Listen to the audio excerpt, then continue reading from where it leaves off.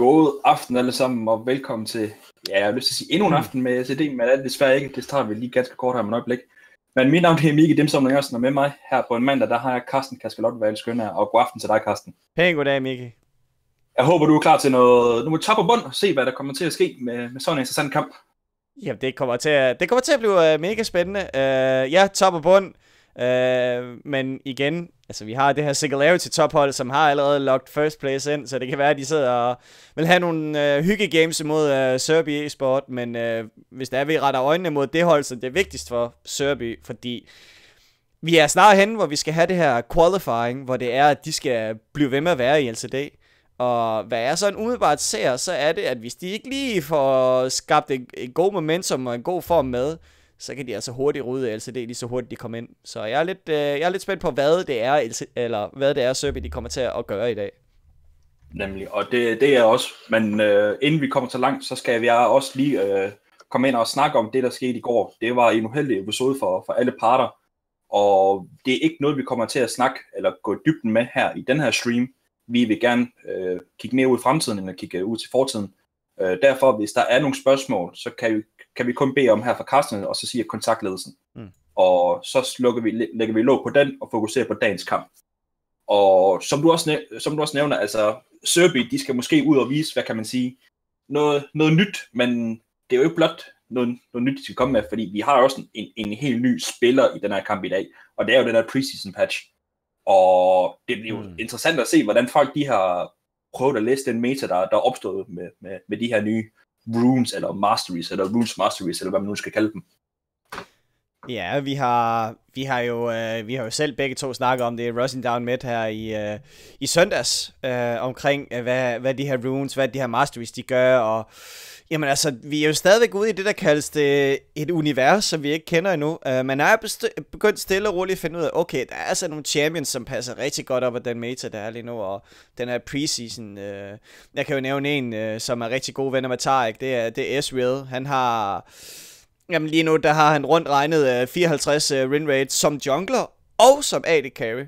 Uh, og det, det viser jo bare egentlig, at Ezreal, han passer jo fantastisk op, uh, godt op af den meta, der er lige nu. Uh, og det er især det her Manimune Spike, man snakker om, at Trinity får Spike, at uh, han er bare så enormt stærk, uh, plus nogle masteries, uh, som gør, at han, uh, jamen altså, han bliver vanvittig. Uh, så Ezreal er i hvert fald en af de uh, champions, jeg kommer til at, at kigge nærmere imod, om den bliver bandet, eller hvad kan man sige, uh, bandet eller pigt. Uh, jeg regner stærkt med, at den 100% bandet i løbet af i dag vi må se, hvad der sker. Jeg har stadigvæk også selv problemer med, med øh, at læse, hvad der er, der kommer, kommer til at ske med, med den her nye meta, fordi man føler, at alt efterhånden er blevet viable igen. Mm. Og det, det går næsten lige fra, fra, fra, fra, fra Aatrox i, i top ned til, til, til Cillian i bot, eller hvem der er den, den sidste champ på ja. alfab, i alfabetisk rækkefølge, det kan jeg ikke huske på stående fod. Så det, det bliver spændende at se, hvad, hvad, hvad folk har at komme med, og igen, hvis man kigger på tabellen, som vi også var inde på ganske kort, det er Singularity, som, som fører klart, og de har, de er, de er ikke lukket førstepladsen ind sådan 100%, men den, den er der næsten, kan man sige det på den måde. Og samtidig så har vi nede i bunden, der har vi uh, Serbi Esport, uh, som jo er Singularity's modstander i dag, som jo, du også er inde på, skal ind og vise nogle ting, mm. fordi de har den her qualifier, som de skal forberede sig til.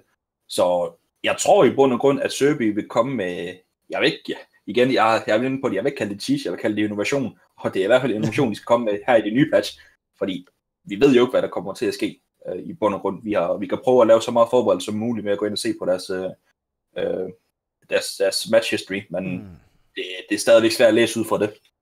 Det er det. Altså, også i, uh, i dag, så er det, at Serbi igen uh, vælger at sige, okay, vi skal lige bytte lidt ud på vores uh, 10-man roster, og de er i gang med at, hvad hedder det, de er i gang med at tage Bjelle tilbage, øh, for at gå ind og spille toplane. Øh, Bjelle, som egentlig viser sig til at være en rigtig stabil toplaner for Serbi de første 4-5 uger, øh, hvor det så øh, sådan, hvad kan man sige, der var bare ikke tilfredshed omkring øh, Bjelle og Kudkaks øh, hvad hedder det, spillestil eller enhed på hold omkring det, og, og derfor kom risikoen af spisepinden i stedet for. Øh, så jeg er rigtig spændt på, hvad, hvad Bjelle kommer til at gøre den her gang, for Jamen, det kunne jo være sådan det der med, at han vil have redemption, eller hvad man kalder det. Uh, han vil ind og vise, hvor god han egentlig er, så han også kan lave et form for sellout. Uh, fordi ingen ved jo, om han, han har decideret team her bagefter, LCD-season, Uh, øh, og det er jo nogle af de ting, man sådan kan kigge på med den her 10-man roster, man har på hvert hold. Kommer alle spillere til at være forblive på den her 10-man roster? Det tror jeg ikke, der er for nogen hold, for der er faktisk nogle af de her spillere, der er rigtig dygtige, som kan komme ind og spille på et LCD-hold, og så også spille med omkring den her top 4 position, der er i, øh, som er så vigtigt i LCD. Så jeg glæder mig til at se Bjelles præcision i, i dag, for, for det, bliver, det bliver vigtigt for dem, at øh, de har en stabil spiller. Ja, altså igen, vi, vi, må, vi må prøve at se, op, fordi de har, bliver ved med at have de her, hvad kan man sige, de her udskiftninger, hister her, fordi de prøver stadigvæk at, at lede efter noget, som virker for dem. De har haft få succesoplevelser, og det er i hvert fald det, de har behov for, nu når de skal igennem den her qualifier Og, Og jeg kunne ikke forestille mig, at de vil blive rigtig glade, hvis de kan, hvis de kan blive oppe og, og, og fortsætte med at kæmpe mod de bedste, der er her i Danmark. Ja, det er jo øh, det, man også skal tænke på, det er, at man, øh, når det er, man er i, i, LTD, i, især det her med, at med, øh, hvad hedder det, det som der er i LCD, det er, at du, du, du har mulighed for at træne mod de her andre hold. Uh, du har mulighed for at lave det her sunde scrims, der, der er mulighed for. Uh, for planlagte scrims, for lærer lære nye ting og hele tiden udvikle dit niveau. Uh, jeg, synes, jeg synes ikke, at man kan se Sørbys uh, mega store udvikling her på det seneste, men igen, som du også lige sagde, preseason, altså det, der, kan, der kan ske alt i, i den her preseason, så uh, lad os se, hvad det kommer til at ske. Ja, det, det er ikke utænkeligt. Vi har set det før mange gange med folk, som har, eller tophold, som har svært med at læse den her nye meta, modsætning til bundhold, som, som læste den mere eller mindre på dag 1. Ja. Så det, men det kan godt være, at vi skal ud i de der ekstremer, før at uh, Søby måske har en chance, om ikke andet så bare for at tage en uh, map point fra, fra Singularity, og vi kommer ud i, i en eventuel tredje kamp. Men lige nu så må man sige, at Singularity, de er altså store favoritter i den her kamp. Det er det, og hvad kan man sige, selvom jeg har, jeg har sådan endelig lyst til, at man slår hinanden på tværs, imens vi kommer i Champions Selection, nu skal jeg jo lige have fundet den her, øhm, så er det, man egentlig kan, kan sige, at jeg, jeg, har en stor, jeg har et stort ønske om, at vi kan begynde at få lidt, hvad kan man sige sådan lidt, at nogen tager nogle opsæt, og nogen laver nogle, nogle andre ting. Uh, jeg kunne virkelig godt tænke mig, at der skete noget nyt, at det ikke bare det der med, okay, 2-0 til Singularity, eller øh, vi tager lige, øh, vi tager lige Easter Vikings, der lige kniver med en 2-1 sejr. Altså, jeg kunne godt tænke mig, at det lige pludselig sådan siger, Søby de vandt 2-0 og, øh, øh, hvad hedder det, Singularity, bare sådan, pup, nå, for fanden, det vil i hvert fald være mega lækkert på vejen af Søby, og men også LCD på en måde, ikke? At øh, der sker lidt øh, ny... Men øh, jeg er lidt overrasket omkring det her Lisander-band. Øh, bare kort fortalt. Øh, igen, der er mange ting, der, der er svært at finde rundt i her i den nye uh, preseason. Den har været i gang i starten nu. Uh, fem dage, tror jeg, hvis der skal være helt præcis. Og derfor er det svært at finde ud af stadigvæk de her champions. Man snakker lidt om, at supports er gået lidt mere over til at være sådan nogle playmaking supports, eller en form for den gamle season 4, hvor de bursty supports, som Karma, som, øh, åh, hvad den hedder? Karma Sire, øh, Syra hedder hun jo. Og så kan jeg ikke lige huske ja. den sidste, jeg havde i hovedet her. Øh, Lulu, Lulu. Det her med, at du har to form, øh, du har to, du har to champions, der giver damage ned bot lane. Så det giver mening i hvert fald, at, øh, at øh, de, de, de banner Fresh på en måde, fordi at grisen, han er jo over omkring de her playmaking support stadigvæk, altså Blitzcrank, Fresh, og han kan jo også spille en uh, min i starten, når det er, han ønsker det. Så det er lidt, uh, det er lidt uh, grisen, de går efter. Derfor tror jeg ikke, det er jo tænkt, at der kommer et Alistar ban her vi har set tidligere mange gange øh, Krisen simpelthen overtage en kamp på, på, på en af de her champions, især Blitzcrank, og mm. flere gange har jeg set simpelthen, at jamen, altså, hvis han får den afsted og kan komme ud og begynde at roam allerede fra det 3 af, mm. så har modstanderen holdt et kæmpe problem. Derimod så kommer der også det her øh, Israel band, som du nævnte øh, tidligere. Ja. Og det er, det, det er jo rent og skær, fordi at, jamen, han er så stærk. Altså, han er så vanvittigt stærk, og det er jo især det her med, at øh, man, man prøver faktisk stadigvæk at køre de her tanky junglers. I hvert fald i solo queue prøver de sådan at sige, nej, vi vil ikke køre early aggression junglers. Øh, de kører det her safe tanky øh, junglers, men øh, det er jo sådan, at øh, Ezreal egentlig er modsat øh, de her tanky junglers. Han, er jo, han har et early game spike, hans Q og hans E, øh, og det er jo det, der det er det, der gør, at han, han er så stærk. Og så plus han er begyndt at være god i botlane også på grund af nye masteries. Men en ting, der ikke ændrer, det er supportsende kærlighed for Leona, der kom efter de her Worlds kampe, der har været. Og vi ser den igen. Samtidig med, at der også kommer en Elise fra, mm. fra Rigskår. Ja, altså ikke når han skabte, han, ska, han skabte en ny meta lige de sidste to patches i hvert fald, med Fiora og Fever, ikke? Altså der, eller Fever, som man også kan kalde det. Øhm, men hvis man lægger mærke til det, så, så er det faktisk det her playmaking support. Så Leona er en playmaker, det er ikke sådan en peel support. Jo, man kan godt spille hende som peel support, men det, det er en playmaking support. Plus at vi er over en Elise, en early aggression jungler, der skal ind og skabe noget øh, uh, aktivitet, skabe noget pressure til uh, hendes team. Uh, skabe noget dominance, en fight, skirmish mod den anden jungler, der er. Uh, og derfor ser jeg egentlig Elise og Leona som være to gode uh, Sunny partners, fordi du kan lave det, der kaldes en form for, hvad kan man sige, split-out teamfight øh, med Elise, altså hvor du korter en ud. Øh, jeg er så rigtig begejstret for at se Lucian, for Lucian har fået en form for, for buff øh, efter de her Masteries. Igen det her med, altså, jamen der, før der havde vi de her AD carries som Caitlyn og Kog'Maw, og de her late game scaling Tristana, som øh, Søndergaard har lige nu. Øh, scaling AD carries. Uh, man er gået lidt tilbage til det her bursty, hvilket Ezreal og Lucian er. Øh, så jeg ser det som et godt pick-up med hensyn til Lucian. Øh, jeg er meget spændt på at se den her kamp, ikke? Fordi det gør også sådan, at man, man får sine egne tanker på plads omkring, hvordan metaen egentlig øh, måske kommer til at være for, for et hold som Singularity, og så også bundhold for, for Serbia. Kommer til at være spændende at se, hvad, hvad, hvad de ønsker at gøre. Du nævner den illusion der, som du er glad for at se, og vi har jo set den mange gange, men den har været i midtlane. Tror du, den kommer ned på sin, på sin plads igen på, på ADC? Jamen, det er jo et godt spørgsmål, for man snakker jo om, at Matis, de har, de har, lidt, de har lidt svært ved tilværelsen lige nu som, uh, som midlaners. Ikke fordi de er blevet mega nerfed, men fordi at de her generelt AD-champions, øh, uh, de er blevet buffed. Um, så derfor ser jeg Lucian som, som mulighed midlane. Uh, øh, også, det virker lidt til, når både Janne og Syndra de er bandet, så kunne det godt være, at de tager en Lucian med for at have den her øh, hvad kan man sige, den her shove med altid øh, pressure for midlane, så det er, at øh, ja, rolighed måske kommer til at køre en øh, early aggressive jungler. Det kunne sagtens være sådan noget som Lee Øh, I hvert fald, nu ved jeg ikke, hvad Ruligan han spiller, men optimalt vil øh, Lee Sin egentlig være en rigtig god champion i den her, den her matchup. Lidt lige måske også. Asir-banen, den, den kan jeg faktisk egentlig godt lide, for jeg føler også, at med de her nye øh, runes, der kom, så har han også fået et, et meget stærkt buff, fordi det er bare simpelthen med til at give ham sindssygt meget attack speed. Og han kan jo bare stærke den konstant med elementer, og det bliver han jo rigtig glad for. Øh, sådan attack speed AP champion, som han er. Ja, han får jo ekstra attack speed på grund af hans passiv, når det er. Øh, og det, det er når der er, man rammer en modstander champion, så får man sådan det, der kaldes en form for ekstra boost i øh, 3 sekunder. Øhm, hvor det er, du har ekstra auto, eller hvad hedder det, attack speed. Øhm, og det er jo sådan noget, der virkelig øh, gør godt på, øh, på Azir, for de der soldiers, der bare hakker rundt. Øhm, og nu er det siger jeg åbenbart larmer med min øh, iPhone. Væk med dig. Øhm, men øhm, Maokai, Maokai pick, jeg er, jeg er lidt undret over, at de gerne vil køre Maokai. Ja, han har høj solo queue win rate, men det er noget andet i fives. Øhm, Orn har simpelthen godt styr på sådan en som Maokai, og jeg ser ikke lige det som være det ultimative pick. Øhm, så, så ja, altså, jeg ser i hvert fald, det er, det er ikke et, et godt pick for, for Bjelle. Og i stedet for Lee Sin, som nævnt, så kommer der en anden early game jungler i form af Nidalee til, til rolighed. Og ja, det, det, det, det er samme dur stadigvæk med den her early game og meget stærke uh, clear, som hun har. Ja, er det... Er det tank set, der er incoming her? ja, man! det skal nok blive interessant at følge med i her, fordi... Prøv lige at forklare, hvad det er, øh, den her tank set her, den går ud på. Ja, man snakker om det her med, at man kan køre så mange uh, Black Cleavers som overhovedet muligt på, på set, og stadigvæk bare insta-give en AD carry.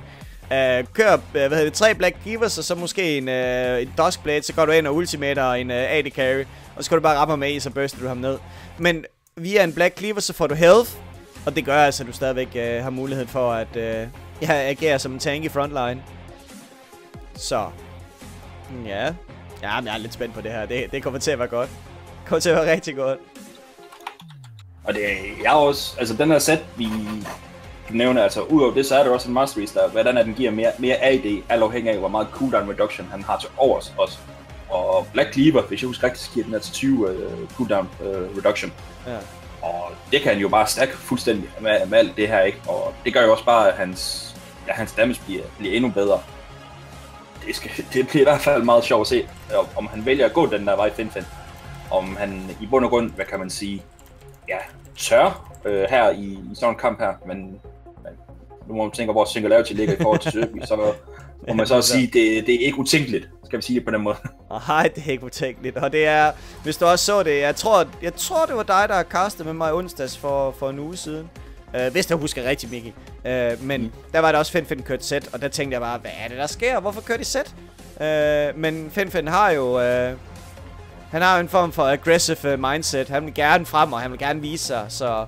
Og det gør man i hvert fald med set plays. I hvert fald Faker i season 4, hvor han øh, udspillede Rio med set mod set, hvor de kørte øh, blind pick, hvor jeg, bare, jeg kan bare huske det der med, at Faker han havde 20% HP, og Rio havde 100% HP.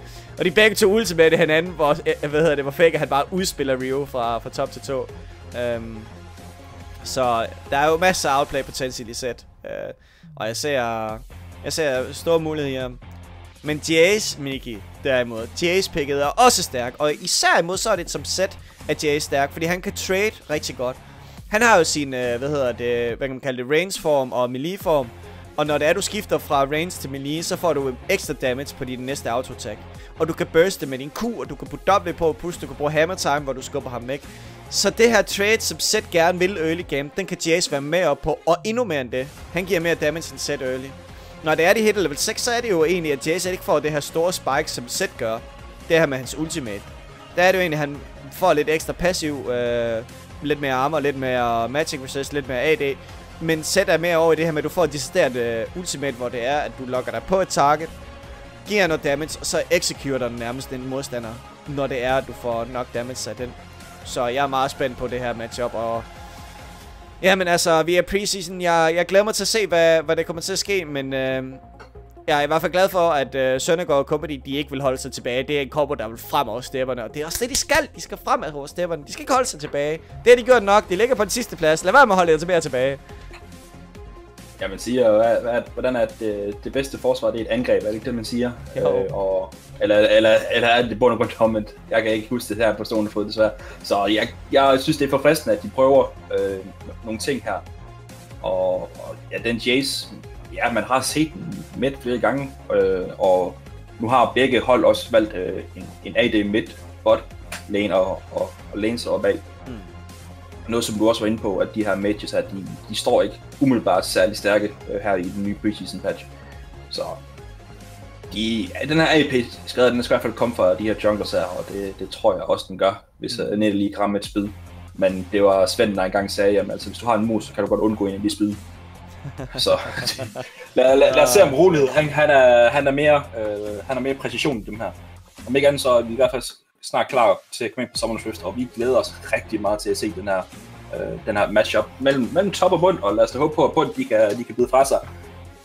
Og lad os kigge på, at med de teamcoms, der er til stede her, Carsten, tror du, Singularity, de bare kvaler Sørby, selvom det er på papiret, øh, altså på, når det er på papiret, det ser sådan ud? Øh, jamen altså, jeg sidder jo faktisk ind og håber, øh, selvom man som kommentator helst skal være neutral, jeg håber jo at på, at vi er over i det, der kaldes en... Øh, hvad kan man sige, at Serbi de finder deres form inden kvalden. Øh, på vejen, altså, hvis der man, hvis der man skal have lidt hjerte med, så, så under jeg faktisk lidt, at Serbi de får noget ud af det her. Øh, fordi ellers så har det bare været et LCD, hvor de blev totalt smadret og udspillet. Øh, så jeg håber faktisk, at de kommer til at vise noget helt andet i dag. Øh, ud fra øh, teamkombosmæssigt, så kan jeg faktisk godt lide... Øh, hvad de hedder, Service, den er ikke øh, super bad. Øh, jeg kan godt lide det her med, at i stedet for, at de vil holde sig tilbage, så går de ind i fjeset på modstanderen. Og det er også det, de egentlig øh, allerhelst skal, in my opinion. Øh, ud og force noget, ud og skabe noget. Øh, men jeg mener, at Maokai-picket godt kan blive hen og blive, hvad kan man sige... Ja, Orn er meget mere værdifuld end, øh, end Maokai, fordi Maokai kan CC en person, og Orn kan CC mange flere personer via hans ultimate gudgeden, som man også kalder det på kedelig dansk. Altså, den kan, den kan gøre underværker, og det kan, det kan Maokai's, øh, hvad hedder det, jamen, W Ultimate, ikke? Serie, hold nu kæft. Samtidig har Kærb også øh, vist flere gange, hvor, hvor stærk han er på den her Orn. Mens Sørby, de rigtig gerne ind og, og kigge lidt her. Grisen har blevet ramt. Der bliver også samtidig flashet. De får rootet grisen ned, som flasher over. Samtidig kommer Risiko altså også ind med en rappel, som også rammer kokunen på grisen. Men de kan ikke få det sidste damage ned på ham gengæld så kommer rigtig meget skade her om på med igen risikoen. Det er Maddie, der får det her dobbelt tap. Og de får den dybe vision. Finn Finn er her også, men han misser til gengæld lige en, en ninja-stjerne her om på Sir Holmius. Så det, der er allerede god gang i den her fra, her fra start af. Ja, de vil ikke, øh, de vil ikke holde sig tilbage. Øhm, og jeg nåede ikke engang at se, om det er Rigskorn, han brugte E. Øh, jeg vil i hvert fald lige se igen her, om han... Øh, Ja, han tog E. Øj, han skal have et stort leash i jungle. Øhm, og det tror jeg også, at øh, holdet for Singularity, de ved, nu er der nogen, der skal bruge E. Og så også lægge mærke til, hvor Nitte lige står han lige nu. Hun stod lige og overvejer den her røde buff. Øh, går over til blå, men jeg tror, hun invader helt klart. Øhm, så jeg ser i hvert fald et early game, der bliver rigtig svært for, for Rigskoren, fordi en Cocoon, hvad kan du gøre? Stun en target i et sekund, det er jo ikke det værd mod en, uh, en jungle buff. Det er nemlig det, det ikke er. Samtidig så fik de altså også lidt vision over på uh, Sørbys rød side, og de er udmærket klar over, hvor risiko er.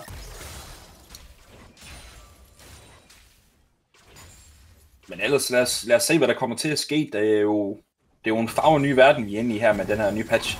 Og den er jo meget eksplosiv, den her patch. Man nævner blandt andet, at det er stor, for, stor fordel til de her stærke damage, mens der kommer double tap her om så hvis der kan de få den her cross flow form. Der er ikke meget, så han bliver nødt til at bruge heal der. Det er også flashet fra dem, og han slipper væk med nød og næppe. Ja, en god lille exchange her, det er jo det, der er med Braum, det er, at øh, den er passiv, når den først bliver sat op, så, så er det i hvert fald, at de kan, de kan, jamen altså, med Braums passiv, der kan de sætte op med auto-attacks med Lucian. Især Lucian benefitter rigtig meget med Braums passiv. Um, så jeg glæder mig altså til at se uh, den her botlane. Allerede popper flash på uh, Sir Home, men Matti har også selv, uh, hvad hedder det, også brændt flash. Men vi fortsætter med at uh, kaste ild herop og sende små saplings ud i top lane. Uh, vi kan igen kigge lidt på i den her toplane, som du også nævner, Bjelle, som er kommet tilbage igen på det her Serbi-hold, og han er jo op mod Kerber, som, som jeg også nævnte tidligere, han har vist, at, øh, hvor stærk han er på den her år, og mange har stadig problemer med at, hvad kan man sige, være, vide, hvordan man skal spille den her år, og hvordan tror du, Bjelle skal, skal gribe den anden? Bjelle skal egentlig gøre det andet, mens vi ser Rigskåren hernede. Uh. Ja, um, lige en Zenith Blade, der ikke er ramt her fra, fra Best Tactics, og hvilket gør, at ganket ikke bliver til noget sidste ende. Det blev jo ikke til noget. Og tilbage til Køber top, øh, og, Bjelle. Bjelle skal sørge for at spille op af... Jamen, han skal sørge for farme og holde sig inde i spillet. De her trades early her har egentlig været okay for ham. Øhm, men jo senere hen i spillet vi kommer, jo mere og han kan blive landing phase og extend hans lead, så er det, vi er over i... Øh, ja, Søndergaard går ind her. Han får nok et fin tilbage, og det der ser man noget af det der early game, som du også snakker om, som, som Jace har besiddelse sig imod en, en set. Ja, det her med, at hvis Zed går ind, så er det, han skal forvente, at han øh, i hvert fald modtager lidt ekstra damage. Så det er det, er det Jason kan. Uh, og så ser vi lige hernede bot lane med Risko igen. Ja, han rammer sent lane der, men til gengæld så får han altså også hoppet derover til sin ADC, så han misser kokunen. Han får oh, sat sit skjold op. Her. Ja, tønden. Kan de få de sidste stacks om, om på Risko her? Der er to stacks mere, de mangler. Kommer en mere der. Uh. Det stacks er også low. Han får dashet, men rigtig god af men ender med at gå tilbage direkte mod Matti. Og de får stånd op på risikoen, der, men han er altså kommet væk. Det er tæt på, de forventer her på Singularity. Det er det, og det var, det var egentlig godt spillet af, hvad hedder det, Grisen og, og Matti. De har bevist øh, op til flere gange, at, at deres uh, synergy, den er egentlig uh, rigtig, rigtig fin. Nu har han spillet med Krisberg et stykke tid, men uh, inden Krisberg kom, der var det også Matti, han uh, beviste, at han var, en, han var deres, hvad kan man sige, super god carry. Øhm, men ja, altså Varus kontra Lucian, det er, ikke, øh, det er ikke det her trade, hvor man kan sige, det er der hurtige eksplosiv trade, man skal have. Øh, fordi der er det, Lucian har en meget bedre muligheder. Og så generelt, så ser vi egentlig øh, det her med, at når man er mod en Energy Champion som set, så er det, at Jace, Jace har der... Ja, undskyld bare, men Jace har ikke særlig meget at gøre, når han ingen mana har. Man skal da tænke sig hernede i Rød Jungle, det er altså risiko, der kommer lidt for langt frem med sit spinner wave, som, som lige øh, begynder at optræde, og Discord han øh, kommer meget low. Og Pin Pin og Green han flasher. Der bliver altså også brugt sauce på, man får det Men det ender faktisk med at gå lige op, og de begge to dræber hinanden. Og det er altså Søndergaard, der ender med at få first blood her faktisk fra, fra, Sø, fra Sø, Søby masser af roligheder, altså op og ganker mod Bjelle, og jeg tror, at Bjelle er et stort problem, og Nitter lige kommer ind og får brugt sin klør oh. direkte ud på tre der. Men spydet, det rammer altså helt ved siden af, og det bliver ikke lige den sidste skade, som Bjelle manglede for at komme tilbage til Fountain. Ej, det er faktisk godt spillet af Bjelle, det her. Han fangede en uh, farlig situation, Og alligevel får han spillet sig ud af den øh, situation ved ikke at opgive et kill. Ja, han har tape nede. Ja, han har øh, flash nede. Og det vil, selvfølgelig vil det koste ham. Læg mærke til Miniwave op top, Miki. Den pusher imod uh, til Kerbers favør. Og det, gør altså, at han er nødt til at overextend. Og det kan gøre muligheden for, at rolighed kommer en gang til.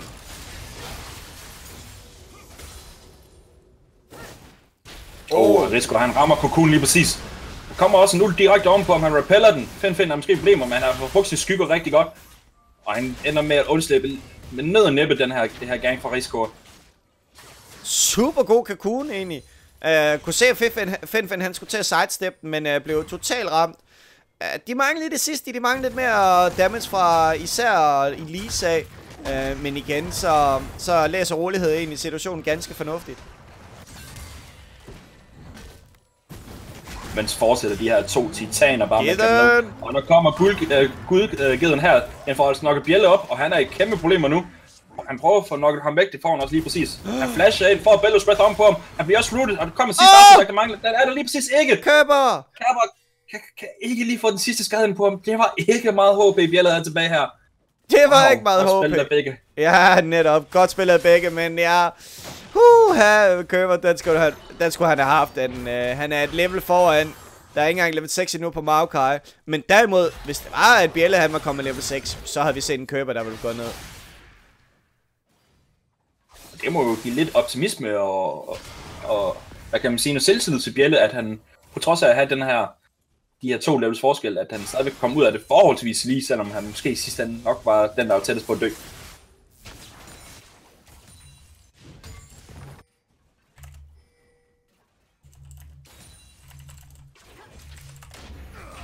Ja, og generelt, hvis vi kigger på, øh, på gamet lige nu som helhed, så er det, vi er over i game, hvor det killsmæssigt er lige. Øh, der er en stor lead til Orn top lane, og det er egentlig generelt det, man skal have omkring Orn. Det er det her med, at han kan købe items, så det passer ham, altså tidsmæssigt. Øh, derudover så er det, de har en early aggression Lucian nede bot lane, som, som egentlig skaler okay igennem spillet, men hvor, øh, hvad hedder det, Varus egentlig skaler endnu bedre. Um, lige nu der kan vi se i hvert fald, at Zed gerne vil være aggressiv. Ja, man rigtig gerne ind for Søndergaard oh. her. Øj, det er altså fantastisk uh, spil, ellers i første omgang. Søndergaard, det er ikke! Det er lige præcis ikke nok. Det, øj, wow, wow, wow, wow. Jamen jeg dog. troede virkelig, han fik Søndergaard ned der til aller, aller sidst, men der mangler lige præcis ikke nok. Ej, mand, hvor er det nogle tætte sager lige nu. Og det er... Det, det er vildt bedre, at Søndergaard må så bare give ham, ikke? Altså, det er, det er mere, end jeg kunne tåle at se i hvert fald. Jeg vil jo lukke øjnene. Det var godt nok tæt, det her.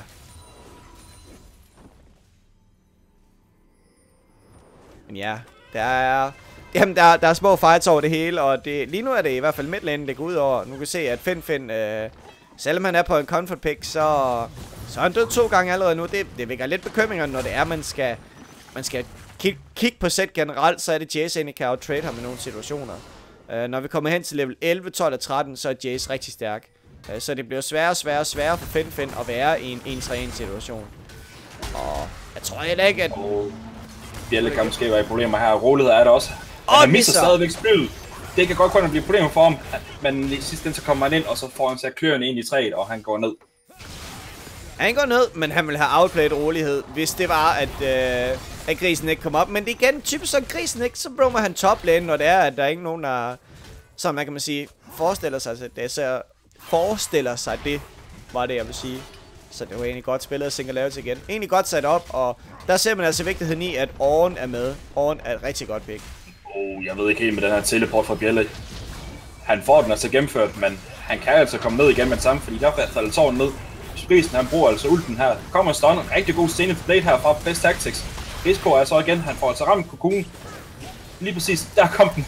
Jeg kan kigge forkert Kerber, kan måske komme han får altså dashet lige præcis væk, kommer Rappel, og han bliver også rooted tilbage. Og jeg tror bare, Kerber han kommer ned og siger, at jeg skal nok falde herfra. Og så kommer Kjeld over til Risiko. Ja, hold øje med Jace. Hold øje med Jace her. Ja, han er, han er roamet op top. Samtidig skal der også tænke, at han noget Maddie bruger altså det Culling, men ja, så Homnius han går ind bag sin, sin minion wave. Ja, der er lidt, uh, der, der sker meget lige nu, og det, det er svært at holde uh, hovedet af i det, men hvis det er, at uh, Serbi de får det her top turret, så er de egentlig traded det fint. En kill for top turret, det er egentlig okay. Hvor de selv får et counter kill. Det er, det er rigtig godt. Øhm, det, vækker, det vækker lidt bekymring omkring, øh, hvad hedder det, Bjelle lige nu. Øh, de er meget glade for at takke ham. Nu kommer Finn Finn også. Næsten. Næsten. Han, var, han sendte i hvert fald sin skygge og ninja-stjerner afsted, men øh, det var ikke nok til at få, få træet ned. Nej, og lige nu der læg mærke til også, hvordan Nidalis HP er. Den er jo ikke... Øh, det er jo ikke fordi, det er der, hun er allerbedst. Øhm, det er ikke det her med, at hun kan være en tank, tank frontline. Hun skal være den her burst champion, og det er også det, der øh, går over, over op af. De er i gang med en, øh, en øh, hvad hedder det, Runes Echo, både på Elise og Nidalee. Og det gør altså, at de er i gang med at have det her magic damage på begge øh, sider af, af holdene. Øh, men igen, så prøv at kigge øh, ind midt lane. Vi har en Finn Finn, der er en god chat bagud. Han er bagud med cirka 600 guld rundt regnet. Og der er allerede Yumus Ghostblade og en Black Cleaver på, på midlanerne. Så jeg ser i hvert fald, uh, jeg ser i hvert fald uh, det er svære betingelser for Finn Finn. Men igen, det er Finn Finn. Han har vist før, han har været lidt bagud, og så er han kommet tilbage. Det har han nemlig. Så, og han er, har altså valgt at i hvert fald oh. sit første item, i hvert fald Black Cleaver her. Men Skris han får ramt på Gods of Blood her for Homnius. Han flasher lidt. Øh, Maddie han bliver altså også nødt til igen at, at, flash ind for at få de her sidste procs på den. Og så skal Sohomnius tilbage til, til Fountain. Ja, det er ligesom om med det samme, han kommer ned på lane, så skulle han tilbage i Fountain. Det er, det er rimelig, øh, rimelig hårde betingelser for, for Holm, men øh, generelt så er det bare sikkert lave til lige det der skridt foran, øh, og det er også det, der er kendetegnet det tophold, som de er. Det er de er det der et skridt til to skridt foran med hensyn til tankerne og rotation, så generelt det her med at sætte vision op. De var i gang med at clear vision, og det havde uh, Serbi ikke respekteret. Kommer der en fight her midt igen? Ja, Finn Finn går ind, han får sendt skygger afsted. Men der kommer også en Kerber, som sender geden afsted. Han får lige præcis nok Sønder går op, og han skal altså øh, se sin skærm blive grå, og så skal han vente i 27 sekunder nu, før han er tilbage på Summoners Rift. Ja, og det er det, er det impact, du kan få for årene, det er den der ultimate, og, og den her, ja, God of Goat, eller hvad man kan kalde det, det er, det, den her det du hed kalder gør, at du har rigtig meget, øh, hvad kan man sige, range på din ultimate. Og det er ikke, øh, det er ikke småting. Den kan jo gå helt ind til midlane, som vi så nærmest fra rød bare fag. Ja, det er langt, den kan komme fra. Det er en, en, en meget hurtig ged, som lige pludselig kommer ned ad lanen. Som, som Kerber sender sted, og han er, han er i hvert, hvert fald viser at være ganske habil med, med den, og han rammer næsten hver gang set ud til. Ja, det gør det, og... Jamen igen, uh, de får med 3k guld, det er... Det er ikke fordi, det er sådan enormt meget allerede efter uh, 13-14 minutter, men i den der preseason, så kan alting bare gå stærkt. Det er... Ja, altså der, der, der, kan, der kan ske ting og sager inden for kort tid, hvis det er, at Serbi de ikke passer på. Uh, selvom de har Elise foran, så er det, de ikke har resten af team foran endnu. Uh, men hvis vi kommer ud til de der 30-35 minutter, så ser jeg faktisk, at Serbi's uh, øh, hold kommer til at overtage det her game. Så 20 minutter stall, det er mulighed for, for Serbia lige nu. Så er spørgsmålet til stemmer. Singularity tillader og sådan noget. Uh. Jeg vil gerne faktisk uh, uh, lige snakke om, om Lucian-billedet her, som Match har valgt. Uh, han har altså valgt at gå Essence Weaver, og det er altså lang tid siden, vi har set det valg af, af items på, på en Lucian. Hvorfor tror du, han har, han har valgt at gøre det? Jamen det er fordi, det her nye Masteries gør, at du har endnu bedre burst potential. Altså, det, det er meget omkring auto-attacks, det, det handler om. Øhm, det er med din dobbelt auto-attacks, og hvis du, er, du går crit, så er det, du har mulighed for crit ekstra på din uh, dobbelt auto-attacks. Og det er det, der er oh, rigtig vigtigt. Der kommer en, altså en, en stor ged her om backline her. Han får altså sin gold forsmand, han får det ikke oh. sendt afsted igen gengæld så kommer de ind, og så kommer der rigtig meget, kommer en stunhammer på bedst tactic, som måske bliver den første, der falder ned. Det er det lige præcis, og bagefter så falder Bjelle altså også ned. Og de får det event her rigtig godt sat op af Singularity, som får den her dybe ward, som de kommer backlane. Selvom Kerber, han, han, han misser sin, sin ult her. Ja, han når ikke ramme ultimaten, men igen, første gang, at kæden kommer, så er den egentlig slower de personer, der er inde i ultimaten. Og det er, det er jo længe nok til, at alle øh, fra alle fra Serbi, de havde, øh, jamen altså, de kunne ikke komme væk fra den her teamfight, ud og skulle flash væk. Øh, vi så i hvert fald Holm og Bjelle var nødt til at flash væk, i hvert fald prøve de her, og resten, de, de blev egentlig bare fanget. Og de fik det omsat til et tårn midlane, som de nu får en 3-0 på den konto. Og som du også nævnte, det her goalie, det bliver altså større og større, stille og roligt. Og det er altså omkring de her 5.000 guld nu. Det er omkring 5.000 guld, og igen, bare kort fortalt, igen, så sker noget her. Ja, og rigtig meget skade på Kerben. Så kommer lige sidste auto-attacks her frem. Og de får altså Kerber tilbage til, til Farmsen her. Finfin, han vil også gerne se, om han kan rigtig god dodge her fra Søndergaard. Han vil ind og have fat på den her ninja. Og han kommer ind. Oh, rigtig. Endnu en god flash også fra Finfin. Han får altså juket den her Søndergaard til sidst, og siger Søndergaard ellers tak. Jeg må nok bare sige tilbage og se, om jeg kan få en bedre position igen, så jeg ikke bliver fanget. Ah, det er godt, uh, godt escape af Finn Finn. Han, uh, han kalkulerer det hele. Uh, og læg mærke til, at han er gået Sheen nu. Uh, hvad hedder det sæt. Og det er, det er altså tegn på, at han er over på en Trinity Force. Hvilket, uh, hvilket giver mig lidt sådan nogle tanker om... Oj! Det var et spyd, der skulle til der lige i hjertet på, på, på Syrby Esports, som har gjort alt for at få den her Ocean Drake ned. Øj, rolighed. Ja, stay calm og get drakes. Det er jo uh, lidt med hans motto måske, men sikke et spyd. Det var veltimet, og jamen igen, der skal man bare passe på med at tage nogle ting, hvor man ikke har super meget vision over det. De havde ikke vision, hvor Nille lige var. Uh, de troede, hun var gå tilbage, men roligheden sender bare en spyd afsted og siger, ja tak skal I have. Så kan man måske begynder at snakke om risiko og øh, laver en, øh, en, dum fejl der og tænker, jeg, jeg er sikker, jeg kan lige så godt bare gemme min smite til, til, på et senere tidspunkt. Ja, det, det er måske, måske har bare det her spære, det øh, gav mere damage, end, uh, end han var regnet med, men timing den var ikke helt, uh, helt uh, korrekt. Uh, men nu så er det, vi kommer til at se det her Singularity, hvad det er, de vil. De vil gerne have grisen til midt sammen med Lucian for at beholde det her konstante pres midlane.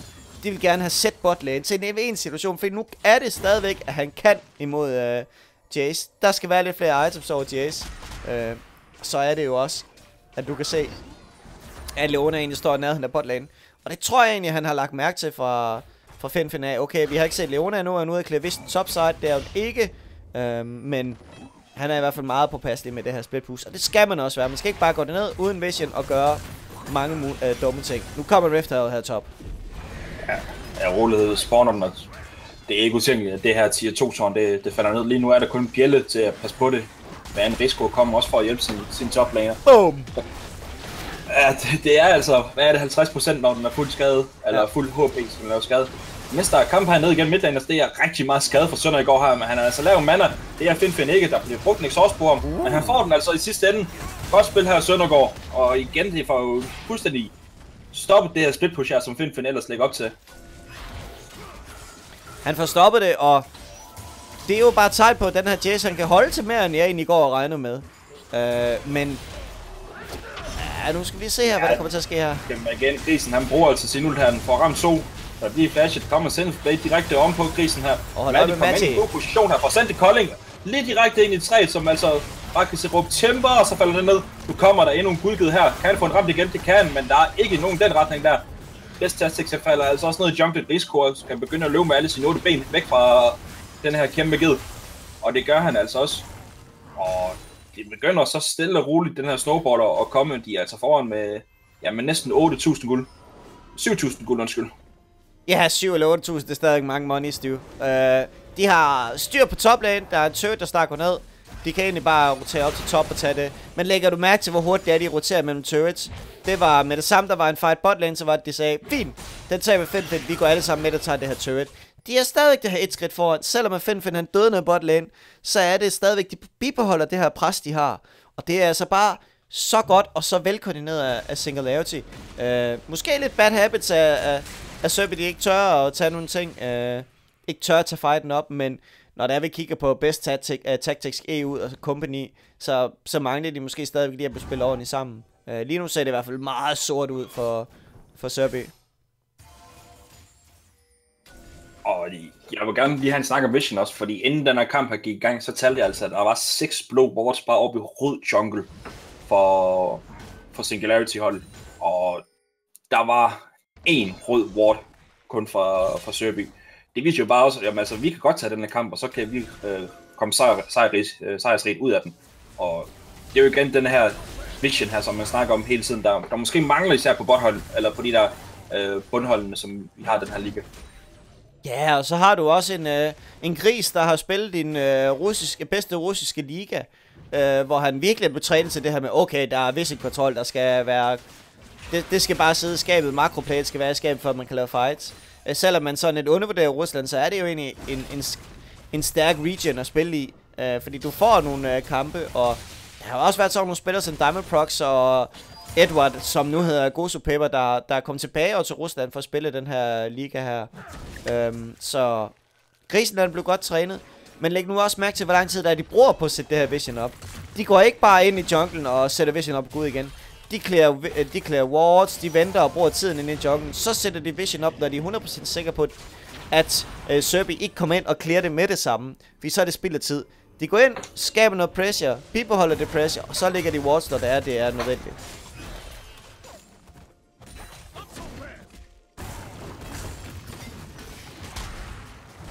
Sjovt, de her tanks, de altid står og smådasker til, til hinanden. Øhm, um, det er i hvert fald lidt over i, at, uh, at Bjelle, han skal være lidt mere på, øh, hvad kan man sige, lidt mere på mærkerne. Øhm, han, er, han er godt bagud i forvejen, men han skal være lidt mere i, øh, hvad hedder det, hvad kan man sige, han skal være lidt mere på mærkerne, end han, han, han plejer at skulle. Samtidig ser vi også, at, øh, at Singularity begynder at rykke den her vision ned i, i blue side på, på Service og jungle. Simpelthen for at give Kerber den her rolig, ro til at uh, split push i, i ro og fred. Ja. Stille og rolig fred. Ja, og han har altså et overtag på den her Maokai. Oh. Han bruger altså, rammer geden lige i hovedet, får sendt træet op, og så falder træet ned igen. Ja, det er så nemt, som det skal gøres. Det er det, jeg sagde. Maokai er rigtig svag mod Oren, fordi det er det her ultimate for Oren. Det er det, der er så latterligt. Det er den her ged, der kan gøre, at du først bliver slået, og hvis du bliver så ramt af den, når den bliver slået tilbage, så er det, du får, hvad hedder det, så bliver du nok der, Oren. Og i den mellemtid, så kan have, hvad kan man sige, så kan Køber jo egentlig komme ind sammen med Oren, og få slået øh, det her træ ihjel. Um, det er bare egentlig så, så nemt, som det egentlig bliver sagt. Åh, oh, der er rigtig meget skade på den her Maddie. Det er lige før han kan børste øh, Søndergaard ned med, nogle, med en enkelt rotation. Men Søndergaard han overlever lige med noget næppe. Ja, og nu er vi snart op på den her 10k lead efter 23 minutter. Det her det er det, man kalder snowball metaen. Det er, når du først har et lead, og igen, læg mærke til kort bot lane, og er i gang. Nu kommer der TP-play. Nu vil Serbi noget. De prøver i hvert fald. Der kommer TP der, men det er altså Bjelle, han er altså alene øh, hjemme her. Kommer også Kerbos, han får også sendt TP'et her. Han var altså rooted, øh, Maddie, men han er altså helt alene væk fra sit hold. Kommer en rigtig god uh, Call of the Forge God her for Kerber igen. Han prøver at om jeg kan fat på Søndergaard, men han misser ham lige præcis. Træet falder ned her, som, som Finn Finn fik, som Finn Finn fik fat i. Og de blev jo spredt for alle vind Sørby her. Ja, de fik ikke lov til at, til at gøre det, de egentlig vil. De øh, får Bjelle til TP'en, de får... De, de, de prøver i hvert fald at få skabt nogle uh, overtalssituationer, men der er sikkert lavet til simpelthen for langt foran, og via det her Lucian øh, næsten tre items allerede nu efter 3 eller 24 minutter ind i spillet. Og med en set, der egentlig er ganske stærk sammen med en køber, så er det, du har tre damage dealers, som de ikke kan holde sig væk fra. Men det er som om, de ikke helt er opgivet endnu. Jo, Maddie er ligeglad. Han vil ind 2 mod 1 her. Det måske bliver han stød. Han får en cocoon direkte over oh! hovedet. Han, han dasher og flasher alt det der. Han ender desværre ikke med at få nogen ned. Til gengæld så får Singularity, altså Baron her, de trækker sig bare tilbage og begynder at starte forfra. Ja, det var lidt friske, Matti. Han skulle lige ind og se, om han kunne få, øh, hvad hedder det, risikoen og best tactics ned, fordi at øh, han var meget confident. Uh, dog vil jeg så sige, at det var lidt for frisk. Jeg synes du alligevel. Ja, det var lidt frisk. Om ikke andet så får Sørby her endelig midtårnet, og det er deres første tårn. Whoop, whoop. I den her map. så er det lidt hype her fra Carsten af. Ja, man! Det, det, det, er, det er lidt for sent. De er altså næsten 11.000 bagud her efter 25 minutter. Ja, det er... Hvad kan man sige? Uh, hellere, sen, eller hellere for sent end aldrig, eller hvad? Jeg ved det ikke. Uh, det her det er bedre nok... Sent man, ja, bedre sent end aldrig, og det her det er... Det, det her det er meget sent, de får det her turret. Uh, men de 11k bagud... Jeg, jeg vil ikke sige gamet over, fordi du kan lave... Du kan stadigvæk lave nogle vilde comebacks. Altså, Søndergaard er stadigvæk uh, rigtig fint farmet og har nogle gode items. Uh, jeg ser bare lige det her den her ovenpick pick her, det er, det er simpelthen for stærkt til teamfights lige nu, og Lucian kan bare gå ind med hans tre items. Nu har han fået øh, færdiggjort hans last whisper til en mortal reminder, og det gør altså, det her health, det her sustain, der er for Maokai, den bliver reduced endnu en gang. Og så skader han også lige øh, så holde lidt, øh, lidt damage med hans ultimate. Det er det, han gør. Han fortsætter bare. Det er, der bliver pushet fra alle tre lanes her, men Finn måske bliver fanget lidt for langt fremme. Oh. Han får i hvert fald tårn ned, men midlane tårnet ryger måske også ned. Orn er altså også over presset op i top lane. Det er fra nord, syd, øst og vest, der bliver presset fra det her Singularity hold. Ja, det minder lidt omkring det her Samsung Galaxy, der vandt Worlds. Det her med, at de pressede tre lanes på en gang, når de havde en lead. Og det er også det, man skal. Man skal bruge Baron Buff på alle tre lanes. Især når man er foran, hvor det er, man har en combo. Så som Zed, så som Lucian. Hvor det er, man har, hvad kan man sige, muligheden for at kæmpe mod hinanden. Nu gik midlane ned. Nu er det, der kommer en uh, inhibitor, der bliver brudt ned midlane. Og noterer, at der er mulighed for toplane, og Zed står og hygger sig med den her inhibitor bot. Det er altså... Det er high-paced tempo, der er lige nu, og rotationer i, uh, i særklasse. Jeg er helt enig. Alle tre tårne er faldet ned nu. Inhibitors, de er også på grænsen til at, til at blive ødelagt her. Søndergaard prøver at komme ind. Geden! Kommer også givet her gang. Han får den altså lige præcis med ned og næppe ramt så håndløs med den, som også får et skud direkte i ryggen. Jeg tror gerne, Rudi havde han med ind, men han kan ikke rigtigt. Det er faktisk krisen, der ender med at falde ned først her. Og der kommer også en calling her fra Matti, som sætter Søndergaard også tilbage til Fountain. Så stadigvæk en for en her med din midtlane for support. De fortsætter det her pres her. De vil rigtig gerne have fat de her alle tre Nexus. Det er det faktisk. Han, han får altså et, tår, et tårnet her. Det er sidste tårn, der er tilbage. 11 tårne er nu væk fra den her hold her. Der er kun Nexus tilbage. Finn Finn, han kan jo bare stå stille og roligt og sende sin, sin hånd ind i, i, i hjertet på det her Søby hold her. Og der kommer den første sejr til Singularity hold. Well played, Singularity. Det var... Det var i hvert fald ikke det game, som øh, uh, Finn Finn håbede, at han kunne have sådan et, uh, hvad kan man sige, Ja, men jeg skulle lige til at sige, kalde det et feeder game, men det er det jo ikke. Men øhm, jamen, de spiller bare op af deres muligheder. De spiller rundt om øh, Orn til at starte med. De får Lucian sat foran imod Mar- øh, uh, Varus. Så har Grisen et roam i det her game. Mindre end han plejer.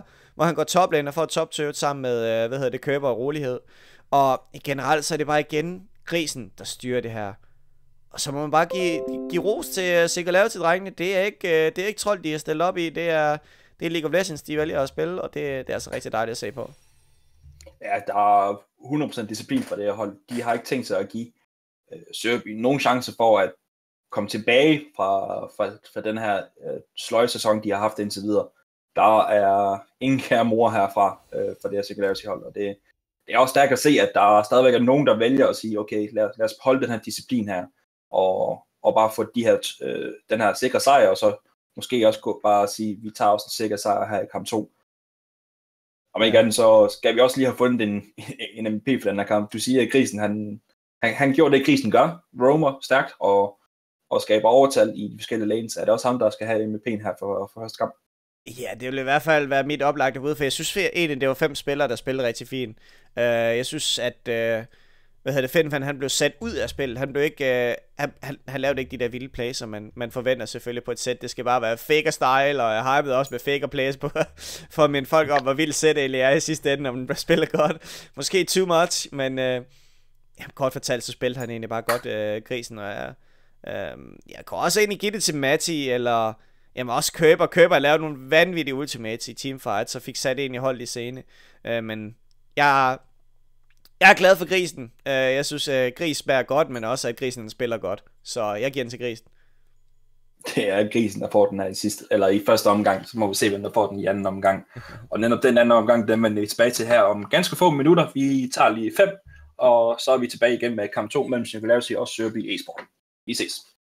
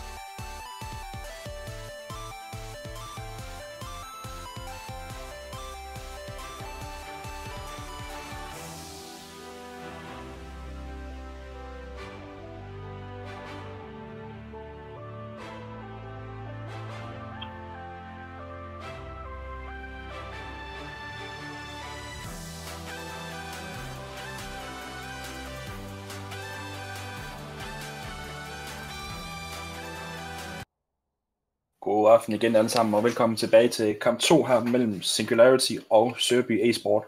Og det var lidt et stomp, vi var vidne til her i første kamp, selvom, ja, der, jeg, jeg nok sige, især Søndergaard, han bød lidt fra sig ind i midlane. Øh, bliver det lidt det samme, vi kommer til at se igen, Carsten? Ja, det gør det nok. Jeg har, jeg har jo egentlig, øh, uden at, hvad kan man sige, uden at uh, sætte det for højt op, så, så har jeg jo egentlig skrevet på min, uh, min egen uh, Facebook det her med, at uh, jeg skal ind og kommentere en kamp, hvor det er, jeg ikke håber, det bliver en 2-0 sejr til Singularity, men tror det. Så hvad jeg ser i hvert fald, det er det her tophold, der selvom de sidder måske og ikke helt har fundet ud af den her meta, der er, så, så spiller de egentlig bare rigtig fint. Uh, så jeg ser, jeg ser altså fin, uh, fine mulighed for, at uh, Singularity går hen og vinder den her 2-0. Ja, altså man må også bare erkende, at der er måske et, eller højst sandsynligt er et kæmpe mismatch på alle positioner med, med fordel til Singularity. Og vi, vi har set flere gange, at Singularity, de er altså bare en af de, bedste, de bedste hold, vi har i den her liga. Hvor Sørby øh, til tider har svært vist, at øh, det ikke er, er gældende for dem. Men der er stadigvæk øh, liv og, og, og, og spratten fra det her Sørby-hold, så jeg håber da også på, at de, de begynder at vise, eller ikke begynder at vise, at, at de viser, at, der, at de ikke bare sådan øh, falder ned uden, uden kamp, fordi så går det derhen og bliver en, en kedelig kamp, vi kommer til at, til at se her. Ja, det gør det i hvert fald. Jeg tror... Øhm, jamen, altså, jeg tror, jeg tror simpelthen, det bliver en, øh, en, øh, en, en 2-0 kamp, selvom at vi, vi har et Serbi-hold, som, som, som selvfølgelig gerne vil. Øh, de kommer til at have en ny toplaner for sidste, eller sidste game, til næste game her, hvor det er, de øh, kommer til at få, en, øh, få deres øh, spisepinde tilbage. Og det tror jeg også er lidt det, som de har ønsket, at de gerne vil have spisepinden til at spille øh, alle games. Øh, fordi at de egentlig i sidste ende, så har de... Øh, jamen, så har de spillet lidt mere med spisepinden ind i sidste ende. Så jeg tror, det, det har de kommer til at spille med her. Øh, og det vil også give dem lidt mere... Man kan man sige, give dem lidt muligheder for at spille lidt mere kontrolleret gameplay. Øh, men Singularity ser ud til, at de gerne vil øh, vende den her hurtigt 2-0 for at komme tilbage og hygge sig. Lige præcis. Og med en 2-0 sejr, så får de altså også cementeret deres første plads. Der er ikke noget, der vil kunne rokke ved den. De er sikre på den her tre kampe, før vi går ind i playoffs. Og man må også bare sige, godt spil der af Singularity, at de kan gøre det så overbevisende. Øh, det har vi jo mange, det er jo sikkert mange, der ikke havde, havde spået, det, at det ville ske, selvom man godt var klar over, at det, de i hvert fald var en af de tophold, der, der er at finde den her liga.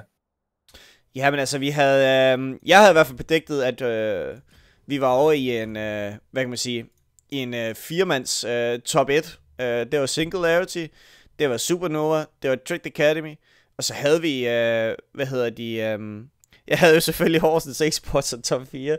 Jeg kan se, hvor gode predictions jeg har lavet, ikke? og det er ikke... Øh, det er ikke det, man kalder gode predictions med hensyn til Horsens. Men det er jo ikke, fordi Horsens de spiller dårligt, men de, de mangler bare lige at udvikle deres, øh, hvad kan man sige, makroplay til efter landing phase, hvor de sætter god vision op, hvor de øh, generelt udnytter deres need, fordi generelt laning phase, der har de virkelig set skarpe ud.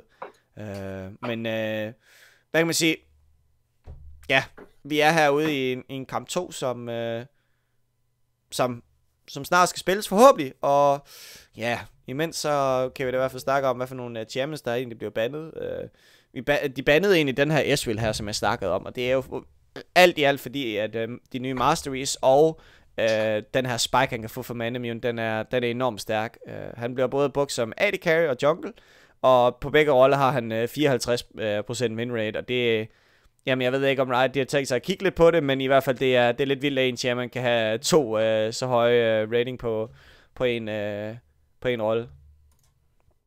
Ja, på, på to roller, vil jeg mærke. Åh, oh, undskyld, det, ja. To roller, ja. At det, det er også uhørt, men det er jo også, man kan sige, det er jo stadigvæk meget nyt med det her Ezreal Jungle her. Vi, vi så den først lige begynde at poppe op her i, ja, hvad var det, i september engang, i hvert fald lige inden Worlds begyndte at, at, at køre for, for, for fuld skrald. Så det, mm.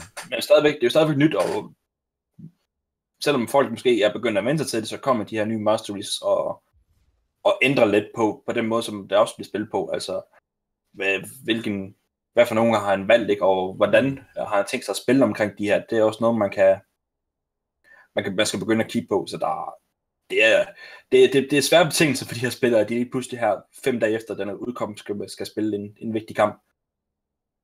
Ja, det er det, og jeg er i gang med at finde øh, lidt hoved og hale i, hvad der skal ske her. Øh, og okay, jamen, øh, fair nok. Øh, det er, som det ser ud til, så er det ikke engang øh, uh, Drox, der skal til at... Eller ikke Drox, hvad hedder han? Øh, hvad kan man sige?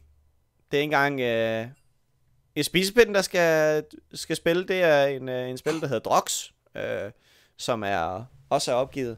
Uh, men, uh, men ja, lad os se. Men det, det ser ud til, at der er, der er lidt problemer med, med, med at finde den sidste. Der har været nogle, nogle åbenbart nogle, nogle DC-hister her fra, fra det hold. Men skal vi også snakke om, at uh, en Lisandra blev også bandet, og det er jo lang tid siden, vi har set hende være en del af, af noget meta overhovedet. Uh, hvor, hvorfor tror du, den lige pludselig kom ind? Jamen, jeg tror, det, det er det samme, ligesom Ezreal, det her med, at uh, det her lidt mere burst i meta, det er, det er godt, men også lægge mærke til hendes måde, at hun kan agere på. Hun har, hun har CC både på sit W, hun kan komme over, hun kan komme langt ind på backline med hendes ultimate, hun kan sætte Timmy i scenen som helhed, og, og det er jo det er på en bursty måde, hvor det er, hun ikke skal igennem en frontline med masser af tanks. Øhm, så jeg ser i hvert fald, det, det der oversendt til, så tror jeg også bare, at, øh, hvad hedder det, Søndergaard er en, øh, en stor Sander-spiller. Øh, det kunne i hvert fald være, det kunne også i hvert fald være en af årsagerne til det. Men så har vi fået alle spillene klar, og vi venter bare lige på, at de bliver bekræftet, at vi kommer ind i den her Champions League og kommer i gang med kamp 2. Ja. Og tror du, vi kommer til at se det, det samme igen, ligesom vi gjorde i kamp 1 med, med pick and fasen Ja, det, det, det tror jeg, fordi at uh, Singularity det havde succes med det, så derfor, hvorfor skulle de lave om på deres uh, draft, eller deres, uh, hvad kan man sige, Jamen bare lave om på deres uh, kombo som helhed. De fik en playmaking på grisen, de fik uh, rolighed ud på en Elise og en aggressiv jungler, som passer til den her meta. Uh, jeg ser i hvert fald ikke, at der er noget andet, uh, hvad hedder det, andet mulighed for, at de skal gøre det samme igen. Vi får det i hvert fald at se nu, fordi vi er kommet ind i ping bang fasen og det er altså Sørby på blue side og Singularity på red side, hvor vi ser en Orn også blive bandet her mod Cap også, og det kan jo nok ikke komme som nogen stor overraskelse. Nej, det er så, det er så hurtigt, at uh, Big Shark han sagde boom i uh, hans sang, så, så bum, så røg oven. Uh, vi er over i, uh, vi er over i sige, fint, nu skal Bjelle have nogle bedre omstændigheder. Så, og det er det, de får. Og vi ser også, at Sandra bliver bandet igen, så det kan godt være noget med, med Søndergaard, han har, han har spillet den her champ meget. Vi, uh, vi er stadigvæk lidt undrende over, men det kan også være andre uh, hvad kan man sige, der er andre årsager til det. Og så ser vi også en Shen blive banet. De, de kigger mere på, på Kerber nu, end de gjorde på, på krisen i første kamp. Ja, men jeg tror egentlig øh, generelt, Singularity de bandede Shen før, så det kan være det her med, at man på, på rød, uh, red side, at man har en, uh, en stor mulighed for at drafte en god Shen. Shen har jo god base stats. Altså han er, han har god AD, han er god armor, han er god magic resist, altså høje base stats. Uh, og det gør altså sådan, at han øh, har nemmere ved tingene i landing phase. Han kan holde til lidt mere, han kan give lidt mere damage. Så jeg ser i hvert fald at det som et godt band, det her Shen her. Godt lide Jay for bandet, fordi han har så meget CC, plus han kan både køre tank og AD. Øh, så vi også så det i, øh, jeg tror faktisk det er uge 1, hvor, vi, øh, hvor jeg var med til at, at se en, en kamp, hvor, hvad hedder det, et hold kørte fuld AD, Jarvan Jungle. Det var for vildt. Det er en Duskblade efter øh, 13 minutter, så gik de bare ellers af. det var, det var det fedeste at se, og det var også det, jeg troede, at det ville handle op af. Det var... Jeg troede, de ville handle om omkring det her, bare at lave et eller andet uh, mærkeligt meta, og så køre efter det. Men sjovt nok, så vi går over til stabiliserede uh, picks, og jeg er lidt overrasket over de first pick af Caitlyn, men uh, Søholm i deres... Uh, Jamen, øh, i deres kampe, de har vundet, der har Sølvholm jo faktisk været over på en Caitlyn. Så jeg ser altså stor mulighed i det. Uh, Mika ser vi en Draven, tror du? ja, det er Kerber, han, han troller os lidt her. Han, det, det, det, det er spændende at se, hvad han gør. Det Eller bliver, hvad? bliver det sidste? Det bliver en gen til sidst. Ja, okay. Ja, hvordan, hvordan passer den i den nye meta, når man tænker på, hvor meget attack speed det, det har betydet? Fordi han har jo et uh, max attack speed, men han får jo så AD ud af det. Ja, han får AD ud af det. Og det kunne være, at han får 500-600 AD af det i alt. Uh, så hvis man kører...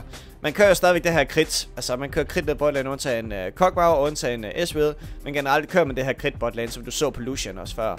Og, og det gør altså det her med, når Jen rammer 500 AD, plus at den har 3 til 4 uh, øh, crit items, så at du når op på et, uh, jamen på et høj, uh, jamen, høj procenter. Uh, plus den her meta handler ikke omkring tanks som sådan. Oven er bandet. Uh, hvis det er, at Biel vil køre en uh, Maokai igen, jamen eller Gæs, uh, gør det. Men generelt så er Genio egentlig bare gået mod champion, som ikke kører tank. Uh, han er ingen tanks redder. Og så kommer Sin Xiao!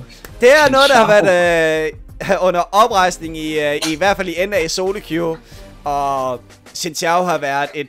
Uh, en, en stor succes ligger på 52 i win rate i, uh, jamen, i de NA solo queue lige nu. Uh, jeg har ikke set den uh, EU uh, rating. Men uh, efter Xin Xiao blev reworked i, uh, jeg tror det var 7.14 eller 13, der er det, men stille og har fundet ud af, at det her early aggression, det er bare for vildt. Han har rigtig meget damage i de første 20-23 minutter. Og så er det først, der han begynder at falde ned. Og når den her preseason, den handler om early game aggression og early game uh, spike, så er det, jeg glæder mig til at se, uh, hvad hedder det, Xinxiao's impact. Det er imod K6. Det kan være, det er en decideret, uh, hvad kan man sige, counter. Lad os se. Nu kommer Ignars eller vent. Uh, nu kommer grisens uh, Leona, og det, det glæder jeg mig også til at se. Det er jo også en playmaking support. De prøver i hvert fald at, at mixe det op nu her for Serby, og jeg, jeg, jeg, jeg er stor fan af det. Uh, som du også nævnte, Xin Xiao har fik det her, uh, det her mindre rework, kan man godt kalde det, uh, mm. hvor der blev ændret lidt, blandt andet på, uh, på hans ult uh, Crescent Guard. Og den, den kan godt gå hen og blive uh, en ond, ond modstander og, og være op imod, hvis han får et, uh, et okay forspring. Så lad os da se, om Risiko han kan finde ud af at, at, at bruge den her, uh, den her champ. Ja, og vi ser i hvert fald et respektband fra, fra Serbia i de bandet sæt, og jeg kunne i hvert fald have fortalt Serbia før, i hvert fald at sæt bliver tankeret som bedste midlaner i den her preseason. Uh, tank set eller fuld AD set, det er lige meget, men generelt så bliver han uh, tankeret som den bedste midlaner, der er.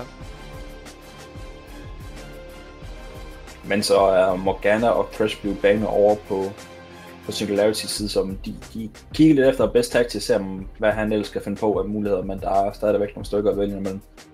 Og, der er, der er stykker. Ja. Men, øh, ja, der, der, der er en del stykker nu.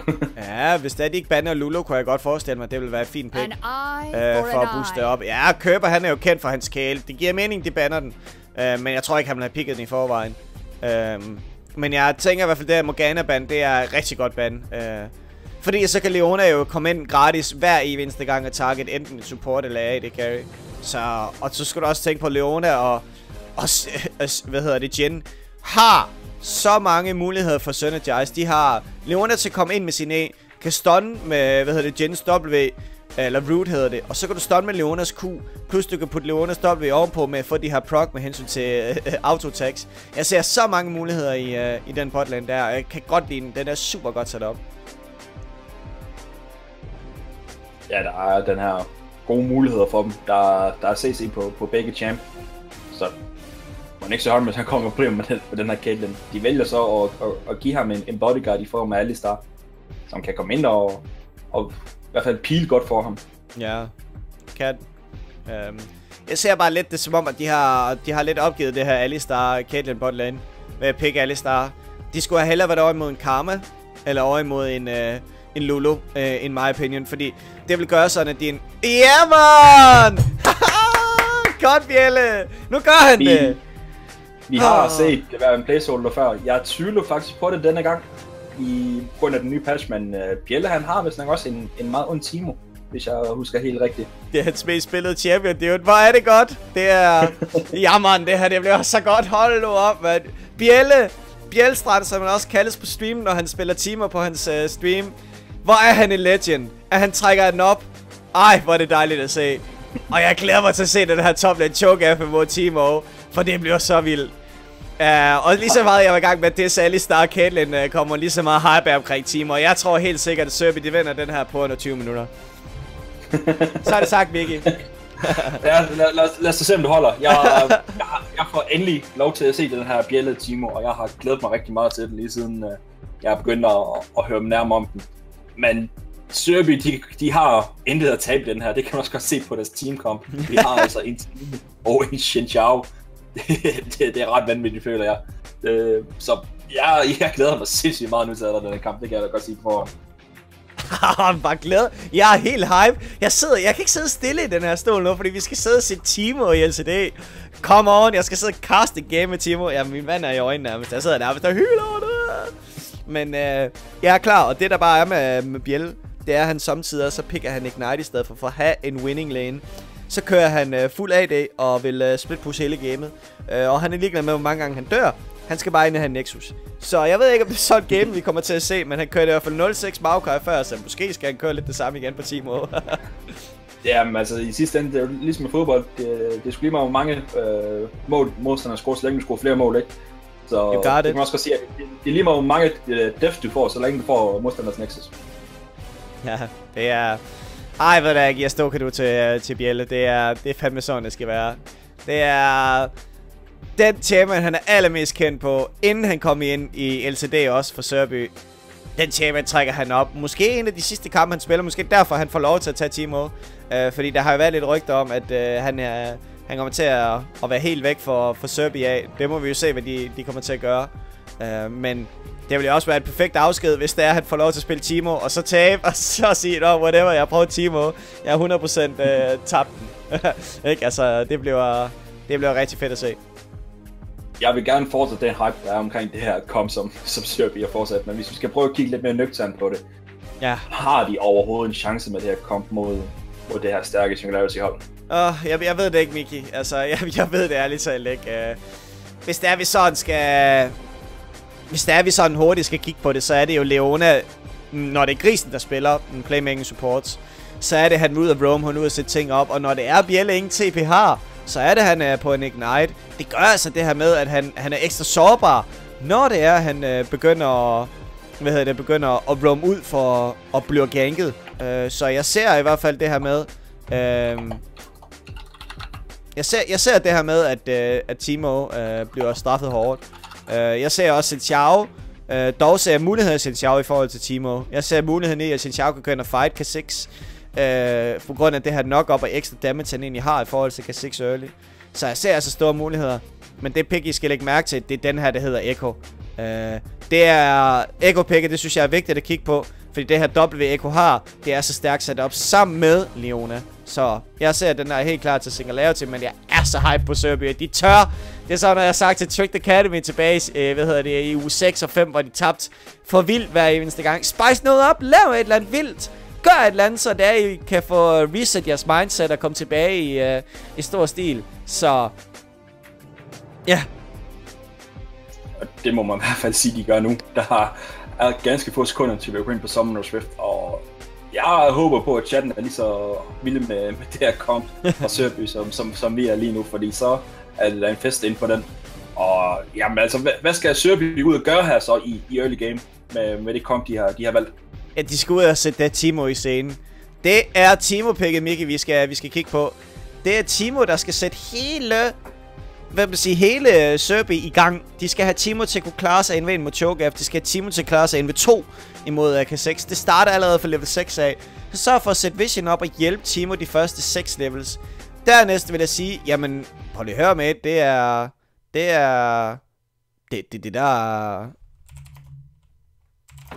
Jamen altså, det er det, der er vigtigt. Um, jeg er i hvert fald over i at kigge på, at uh, det, det er i hvert fald Timo, der skal være, hvad hedder det, den vigtigste spiller og champion på holdet. Så... Også fordi han, han har det her dårlige uh, early game, så der, der skal virkelig passe på ham også, fordi jeg tænker, at sådan en som Karsik, han vil rigtig gerne og ofte ind og have kløerne fat på den her lille jordel. Little Yordle, let's do it, man. Uh, og guys, inden jer, alle jer, der er inde i uh, League Danmark-chatten, uh, sørg for at skrive hashtag uh, Sørby, hvis det er, I uh, tror på dem, eller hashtag uh, Sikkert til, hvis det er, I tror, det kommer til at blive en clean 2-0'er. Jeg har i hvert fald overvejet at skrive hashtag Timo i chatten, men det kan I jo måske gøre for mig i stedet for. Men uh, til at starte med, så vi Sørby går ind her i jungle igen, ligesom før. Og ja, man kan sige, i rigtig Timo-stil, så har han vel Devil Timo. og det, det lever altså bare op til, til navnet. Men så bliver han altså fanget her af Kærber. Der er ikke Oi! meget at gøre her. Men det er comeback, best tactics, der ender med at tage det første kill. Det var måske ikke helt planen. Uh, ja, jeg kan se, der er noget, uh, der er lidt bug over uh, sinds skin. Det har der været lidt ofte, men uh, prøv lige at forestille dig, hvis Bjelle allerede fik lov til at starte det her med at få et kill. Men uh, god start, de får et kill, de går ind og får the pressure, og Jamen altså, Timo brugte en dag ikke night for det her. Øh, og han ser ud til at være i en meget, meget farlig situation lige nu. Ja, det er han. Og de får spottet ham. Kommer lige en auto-attack i sted, og så kommer der også en stun. Og så kommer det sidste auto-attack, det gør det lige præcis, så får rullet altså avanceret sin, øh, sin toplaner. Ja, det gør han, og imens mit uh, gameplay siger 1.42, så er vi i hvert fald godt i gang med, med spillet her. Der er K6, der er, der er startet ind i uh, modstanderens jungle. Godt sat op. De, uh, øh, de ved, at Timo er nødt til at løbe den vej, da det er. Uh, men generelt, da Leona var med ind, så er det, at uh, de putter hende op. Men læg nu mærke til, hvad der skete, Miki. De har lavet en 1, eller en 2-1-1 situation, hvor der botlane går toplane. Og det er ikke noget, vi har set i nærmest i et helt år. Nu kommer der level 2 gang midt. Nej, hvor der sker meget allerede nu. Ind, og men Finn, Finn, han får altså også flashet væk igen. Han får den her Sunwind op på ham. Bolet er der for at hjælpe sin, sin midlaner. Men det bliver bare ved det. Og ja, der er jo, der er jo taler egentlig om en, en lane swap, som vi ikke har set siden ja, seneste sæson. Efter der blev om på, hvordan tårne de giver guld, og, og især med det her first turret guld, som, som man har snakket meget om. Og der kommer en knockback her, og får en combo om på Kerber, som er nødt til at respektere, at han er, han er nødt til at farme under turret her. Og så Caitlyn har jo altså rigtig meget range. Det har han, og det du, øh, det du skal tænke på, det er, at øh, det var turret, der gjorde sådan. Eller det var Wright, der sagde, prøv lige at høre, øh, TSM, I venter for meget i NA lige nu med hensyn til jeres... Øh, jamen altså, de, de var jo verdensmester i NA til at køre i forskellige situationer. Nu kommer der tre man gank hernede på et lane. Og ja, kommer en combo og direkte over med Kerber, som får knocket op bliver også sat trap under ham, og så får så Homius. Oh. Vi får ham selv direkte oven i hovedet på den her Jordel, og så skal han altså tilbage igen. Så er spørgsmålet, hvem der har mest tempo her. Umiddelbart ser det altså ud til, at det er Sørby, der mest Og det er farligt, Køber. Det er Kerber, han teleporter ned. Han vil gøre alt, hvad han kan for at redde det her tårn. Men han ender altså ved at sige, ah, det var måske ikke særlig smart. Og det er altså 3 minutter og 24 sekunder inden, så har vi det første tårn. Vi er allerede ah. godt i gang med det her kamp, Fiesta. Hold og hvad fanden sker der, mand? En Timo, der er død to gange, og en Kerber, der er død to gange. Et third botlane, der er gået. Og det ligner engang, at de skal til at holde. Nu skal de til at tease den her choke en gang til. Eller hopper de midlane. Nu må vi se i hvert fald. Og bedst taxi så i hvert fald en midlane, men Søndergaard er altså meget low mod den her fin fin her. Det er 2 mod 3 nu, fordi det kommer altså også en risiko og prøver at hjælpe. De får i hvert fald jeg kan man sige, gør, gør, gør i hvert fald Singularis hold bange, og tør de ikke, øh, tør i hvert fald ikke gå ind. Ja. Altså, det virker som om Sørby har taget en eller anden øh, side ud af playbooken fra Gigabyte Marines af en art, som jeg så under Worlds. Det er underholdende at se, og, og altså, selvom de får bonus ud af det, altså, de har jo et, et lead nu på 1000. Det er selvfølgelig ikke meget her, når, når der kun er spillet de her 4 minutter og 25 sekunder. Det er der ikke, nej, men øh, det vi ser nu, det er, at... Åh, oh, her... Åh, oh, der er en ko, der, der måske kan at blive skal bare han flash altså væk. Direkte væk fra, fra Finfins øh, øh, spil her. Mens er de to ADC'er er i gang med at kæmpe heroppe i top lane. Ja. Det er ikke ofte, jeg får lov til at sige det efter 5 minutter. Hej, og det er ikke ofte, vi... Øh, I hvert fald de sidste øh, to sæsoner nærmest, øh, kan få lov til at sige, ja løg, altså bot der går ned efter 3 minutter 20 sekunder. Hvor er det vildt. Ej, der er bare så meget, der er sket allerede nu. Øh, og læg mærke til, at Tactics skal gå efter Vision, og at, øh, hvad hedder det, øh, grisen han går efter Mobility Boots. Men man kan allerede se, hvad de forskellige præferencer er omkring spillet. Og det undrer mig egentlig, at grisen han har været på Billis i Boots. Det plejer han næsten efterhånden at gøre. ja, det gør han. Og jamen, jeg er lidt... Øh, jamen, jeg, jeg kan ikke være bekymret allerede efter 5 minutter, men øh, lige nu, det var en, en god start, og nu kan Timo egentlig bare free farm bot lane, og det kan Choker jo egentlig også. lade sig blive skubbet tilbage, så Timo kommer til at skulle stå alt for langt fremme. Øh, men jeg ser i hvert fald... Øh, jeg ser i hvert fald Serbi til at være i kontrol nu, indtil, hvad kan man sige... Jeg skulle lige til at sige, når landing phase er færdig, men har der overhovedet været en landing phase? Det tror jeg ikke, der har. Øh, det er stramt at begynde at kalde det en landing phase. Ja. Men der begynder at opstå i hvert fald noget, der ligner det igen. Bare med et lane swap, hvor bot rykker op top. Ja, netop. Altså, det er, det er fedt at se, og det, der så skal være krydder på isen, det er, at Xin går top lane for en gank en, uh, den lane, at det vil altså være... Det vil altså være vildt. Nu kommer der ikke 6 gængder på han har, taget, han har taget Blaskone over. Han er til gengæld kun level 4 stadigvæk. Men kan oh. Bjelle komme afsted med det her? Han får altså sendt sin, sin blindness afsted. Der er lige præcis ikke nok skade på den. Det er Poison, der begynder at falde ned på ham, men der kommer et sidste klør lige i hovedet på, på, på Jelle, og så skal han tilbage endnu en gang. Ja, og han er nødt til tilbage, hvor tiden den er på uh, 6.40, uh, og hvad kan man sige, vi er nødt til at kigge på, uh, på det her Timo pick, ikke? Altså, det er vanvittig hype, men uh, måske for hype til at starte med. Vi har, vi har i hvert fald set, at uh, Bjelle han får lov til at spille den, og det er i hvert fald dejligt at se. De prøver i hvert fald at lægge noget op top her. Det, det var...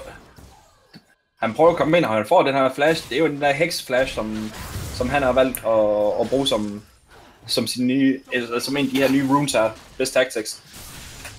Ja, og det kan vi se i hvert fald, hvor meget playmaking der kan være over det. Uh, får poppet en, uh, en flash fra, fra Magi af, og han bibeholder jo sin egen flash, hvilket er rigtig stærkt på sådan nogle playmaking supports. Så... Er fedt at se. Det er også godt brug af, altså, at tænke de her baner der, at man kommer ind og så får forceret en flash fra modstanderen, uden at bruge sin egen. Så der, der er de her playmaking champs, eller support, som jeg også snakker om inden første kamp. Og Best Tactics viser i hvert fald, hvordan man kan bruge en af dem. Og igen, så er der en vait her. Ja, Urisko kan måske være et problem med her. Han flasher væk, og de tager bare lidt trade herfra, mens Bjelte han fortsætter den nu, og han er blevet level 6. Så han har sin Noxious Traps.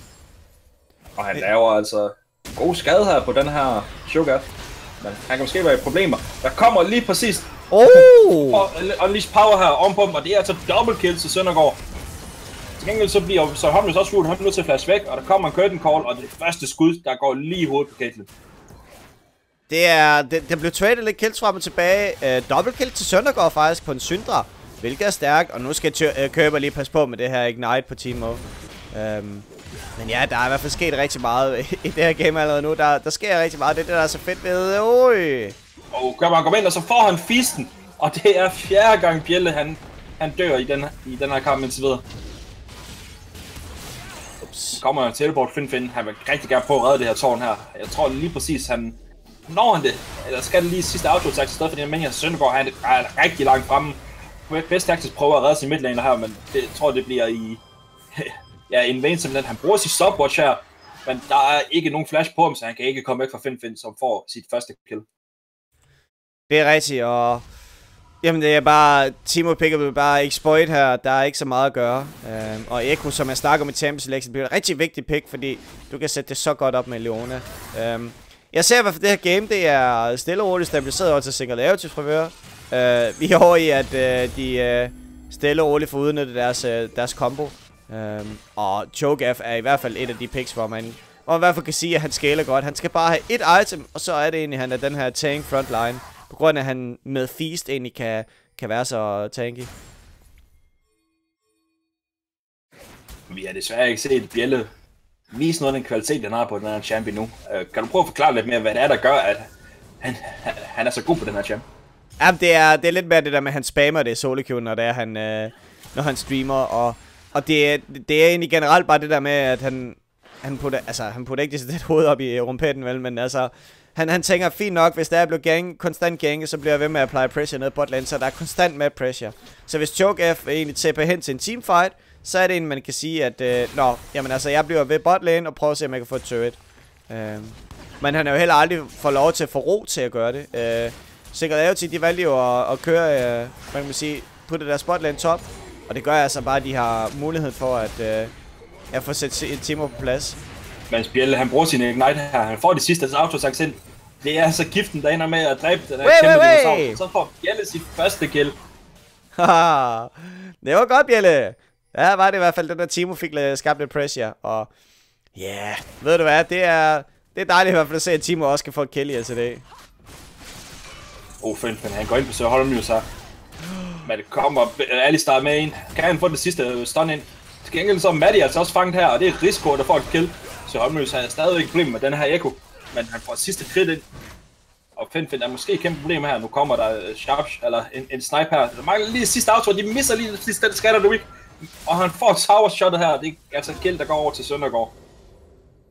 Ja, det, det er, det er godt, at det ikke er Scumbag uh, Tactics, der får den igen. Uh, det er godt, de får det på Søndergaard på, på kæden. Men prøv lige at se, hvordan guld det svinger frem og tilbage. Altså, det, det er svært at skabe så de at sige, okay, nu er de her foran. Men nu er det Serbi, de er foran.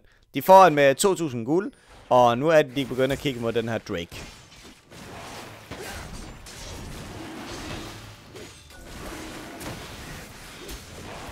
Og det er ud til at være en sikker strike. Denne gang så vælger Risiko rigtig nok at smite den, bare for en sikkerheds skyld, så der ikke lige pludselig er en rolighed, der kommer ind og, og stjæler den igen.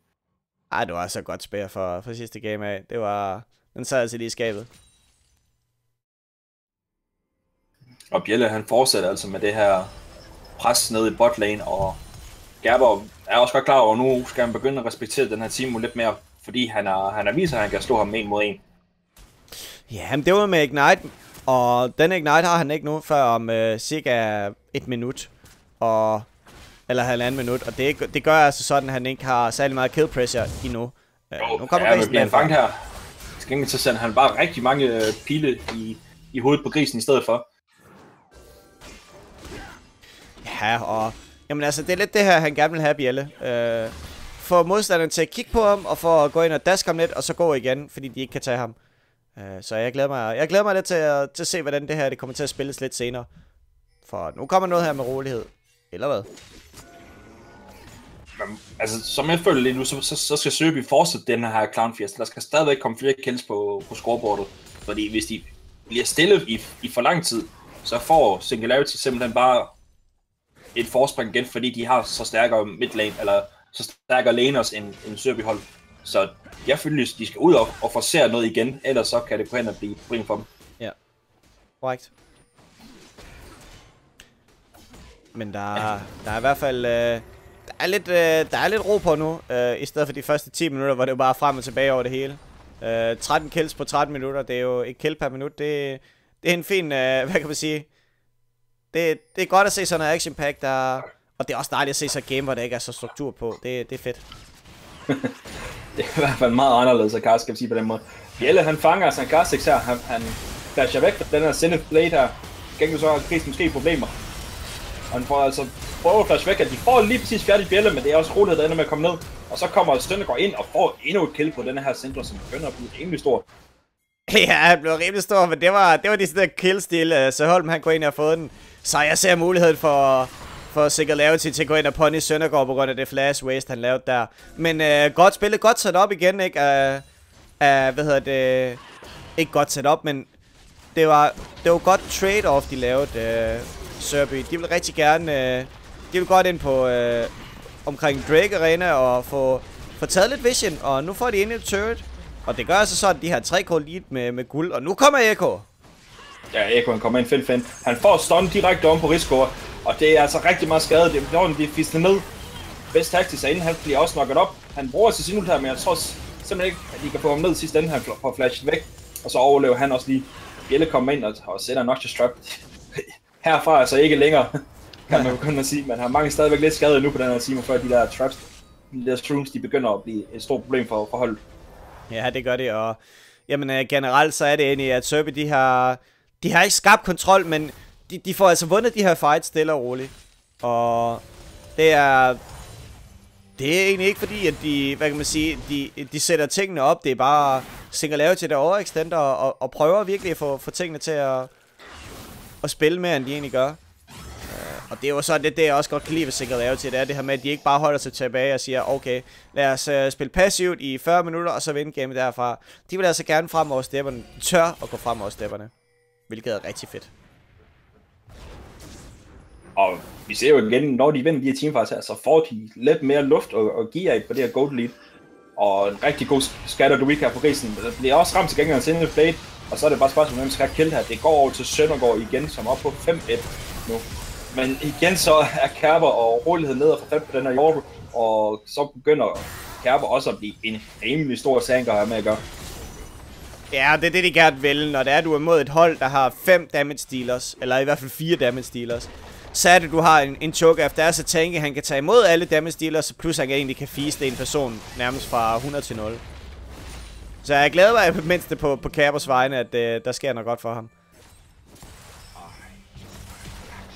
Og nu har Bjelle fået det første øh, item, Leandris Torment, og nu begynder de her rooms at blive ekstra meget irriterende for, for Singularity holdet, hver gang de træder på dem. Men indtil videre så har vi set, at de har undgået dem ganske øh, fint, det.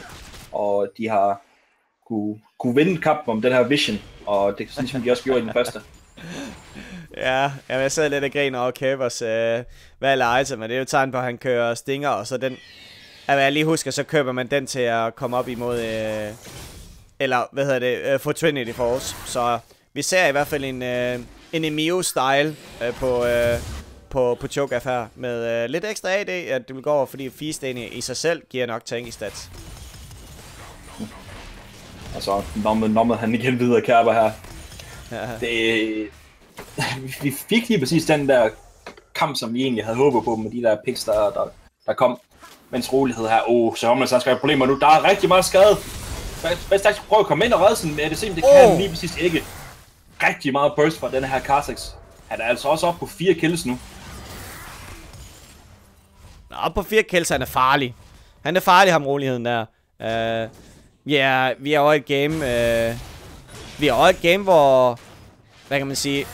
At der er bare rigtig mange kills. Der er 20 kills på 17 minutter. Det er, det er dejligt at se, og det, det skaber altså så lidt... Uh, den der preseason style, som jeg har snakket om. Det her med, at der er ikke nogen, der har 100% fundet hoved og hale i, hvad, hvad der skal ske. Og jo, man har da fundet, øh, hvad kan man sige, man har da fundet ud af, hvad for nogle champions, der er gode i den her meta. Øh, Choga for eksempel er en god champion. Øh, men... Stadigvæk.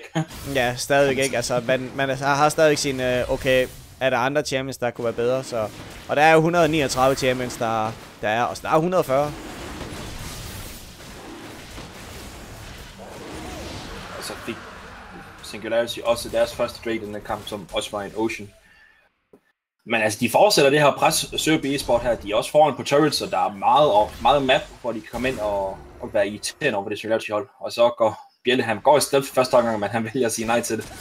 Der kunne ellers være sjovt med det her lille sneak attack, som, som Timo nu kan. Ja, men jeg tror, jeg tror at øh, de der drenge fra Singularity, de har sat øh, den her Vision Guy på. Altså, Ja, Finn Finn, han kommer ind, og han har altså også stadigvæk meget skade over den Søndergaard her. Ja, det lige sidste ind, han har flashet, men uh, han bliver nødt til at bruge sin time, timebreaker her. Han kommer ind og han vil rigtig gerne fast på Søndergaard, men det ender altså med at blive bedst tactics, der får Finn Finn ned først. Der kom også en teleport her fra Kerber, men han, han vælger ikke at gå ind, fordi han kan godt se midtlaneren og han med at tabe den kamp. Så kommer der altså også en Rift her. Nu får de altså højst sandsynligt endnu et tårn at gøre godt med. Matti han kæmper også stadigvæk nede i midtlane for at få det der tårn ned, så det bliver en for en. Vestax kommer ind og får et knock-up om på Kerber her, men han har altså ufattelig tank her. Kan han få den sidste ind for at få et fisk fisk? Kan han nemlig ikke. Det er så Holmvis, der kommer ind og får det sidste øh, shot på ham. Og så kommer endnu mere skade på det her tårn her. Rift Herald er stadigvæk åben. De fortsætter oh. med det her kæmpe pres her. Maddie er nødt til at komme tilbage. Han bruger sit cursing call. Men der er ikke meget skade på det. Nok til at i hvert fald at... Jamen dog! så kom det her Sørby hold væk, og de får en inhibitor. Jamen dog, Sørby, det er, det er ikke Team Split Plus, I vil have. I vil have en Team og Team Fight, og det, det gik da godt. Jamen, de fik en inhibitor, jamen det må de gøre noget mere, så. Ej, øh, det var, det var en fight, de vandt omkring topside. De fik, øh, de fik Fen Fen ud af, ud af spil, og det var godt spillet af Søndergaard. Man må bare give ham ros for den tålmodighed med hans ultimate at han popper den først, når det er Finn Finn skal til at engage på ham, i stedet for at han popper med det samme, sådan at øh, Finn Finn han bare skal bruge ultimate for at negotiate da, øh, hvad hedder det, damagen fra, fra Synder ultimaten. Så det er egentlig godt spillet af Søndergaard, hvor det er egentlig øh, Tactics, han kommer og følger op på det. Så well played Serbi, og nu er det, de skal til at presse to andre lanes. Og lige nu der ser det her game ikke så sikkert ud, som øh, Singularity egentlig havde, havde tegn på med tredje kills på, øh, til Køber her lige før. Så ja, yeah, ved du hvad, det kan, det kan blive fuld eller fest, det game her. Lige præcis det, det kan.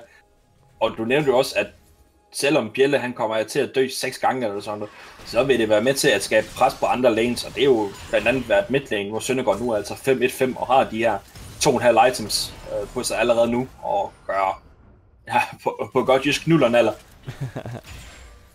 Jamen, det er, det er rigtigt. Det er, det er, jeg, jeg synes, det er så fedt, de har mixet op med en Timo og en uh, Xinjiao. Uh, og det er jo nogle gange det, der skal til, bare så tage nogle uh, off guard, og jamen altså, det skal nok, uh, oh, det skal nok være sjovt. Her. Han bliver nødt til at flash væk fra denne her rolighed, som har simpelthen så meget skade. Og kommer Finn Finn ind og får det sidste shot på ham. Bliver brugt en curl så rammer stort set alle sammen på Søndergaard, og han er altså også low nu. kommer en root om på Rigscore, og det er jo sidste krit, der også han lige fik med her, uh, Maddie. Og det er um, nok til at skræmme hele Sørby-holdet væk. Og så er Finn Finn til stede, han er fat på den her Rigscore. Kan få det sidste ind. Oh, det, det er meget tæt nu. Finn Finn har altså respekt for den her Xin Xiao her, og han får ham ned til sidst. Virkelig godt spil her, Xin Xiao. De får skænger roteret op mod øh, Baron. Der er altså en blå watch, så de er udmærket, de er udmærket klar over, at de er i gang her. Der kommer også en, en, en sniper her, der, som rammer hullet, og de, de vælger klogeligt at sige, og at, at gå væk fra den her Baron. Ej, det er klogt. Det er, det er, det er klogt.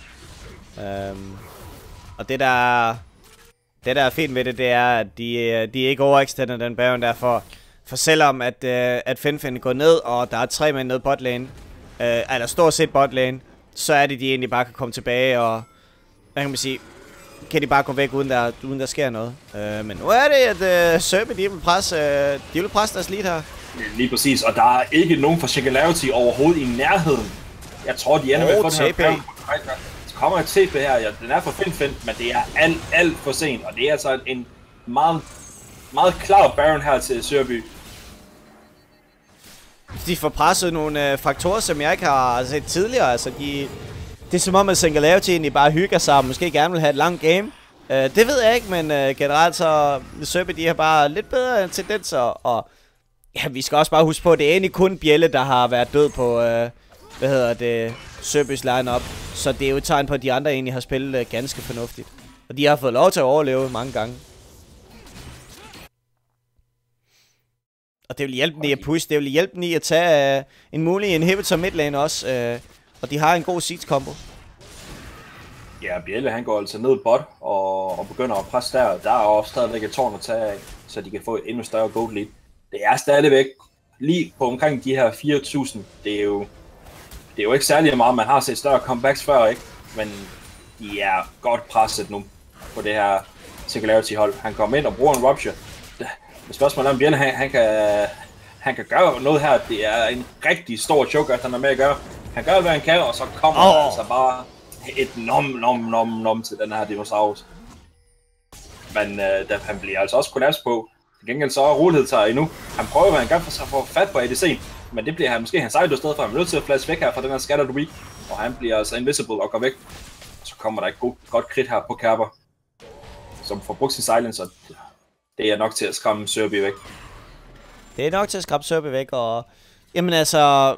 Jamen, Bjelle, han, han prøver... Altså, man må bare give ham, han prøver imod Choker. Vi hærdigt og, og få sat ham på plads, men du kan ikke... Uh, som sådan kan du ikke gøre mod, noget, mod Choker her. Plus Choker for Trinity for os nu. Det er... Det er en stærk Choker især.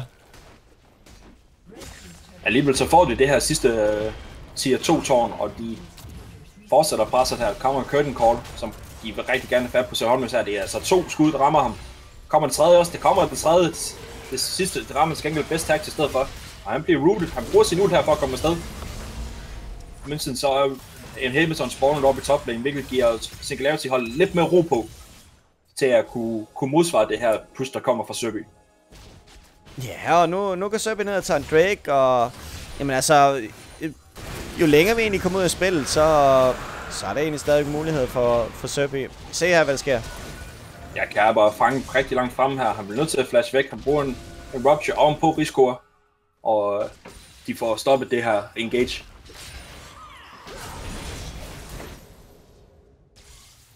De fortsætter i hvert fald ned ad botlane. De, de øjner muligheden for at få en sejr. I hvert fald en map sejr over det her tophold. Oh. Hvilken, hvilken overraskelse det ikke vil være.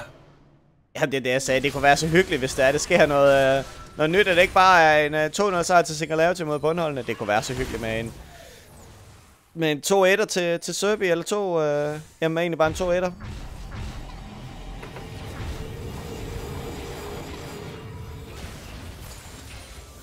De får i hvert fald lige et rums tid til at hvile og få pushet lanesene igen, Singularity, mens Sørby vælger at gå hjem og købe lidt flere items og gøre sig klar til, til endnu et push. Der er heller ikke rigtig nogen objectives at tage for det her Singularity hold, så Sørby de begynder at vise nogle, nogle takter, som vi ikke rigtig har set fra dem tidligere. Ja, fra, fra Serbi af. Ja. Ja, de, øh, de, spil, de har i hvert fald de har i hvert fald gjort sådan, at uh, Singularity skal tænke sig ekstra godt om, når de, når de handler på, på tingene, fordi at Xin Xiao kan altså nå at give rigtig meget damage, før er egentlig... Før en teamfight egentlig starter, og det er egentlig det, vi ser nu her. Ja, det er præcis, men spørgsmål på, det kan Kærbe altså også. Han har sendt fis klar. Der mangler måske lige sidst, og der kom den. Han får altså også spist en, en Senshao her, og så kan gå teamfighten ud. Det er altså rolighed, der er faldet ned først. Bjelle han kommer ind og får sendt øh, pil efter pil afsted lige i hovedet på grisen. Kærber prøver at disengage fra sit hold. Skænkel er Maddie her altså også. Jeg ved ikke, om han vil have den her kamp mod Søndergaard, men Søndergaard har altså ikke sin ult endnu. Det kan oh. har han rigtig meget skade. Han får altså ADC ned her for Singularity. Finfin løber væk afsted. Men så, har man taget flash ind og oh. får det sidste auto attack lige i hovedet på Finfin. Og det er 3 for 1 til Sørby. Jamen, altså Sørby, de vil altså det her med en Singularity. Det er som om Singularity, de laller rundt, og det uh, udnytter Sørby til fulde. Nu kan de puste to lanes på en gang. Det, det ser rigtig lovende ud, det her, Miki. Og det, det er også det, de vælger at gøre. De har stadigvæk inhibitoren, som er åben op i top. Samtidig så pusher de altså også med, at simpelthen de ikke kan få den uh, inhibitor. Så er der kun en tilbage, og det er altså nede i bot. Åh, oh, der kommer nu skal vi passe på. Åh, oh, hun rammer lige præcis den her Zenith Blade her.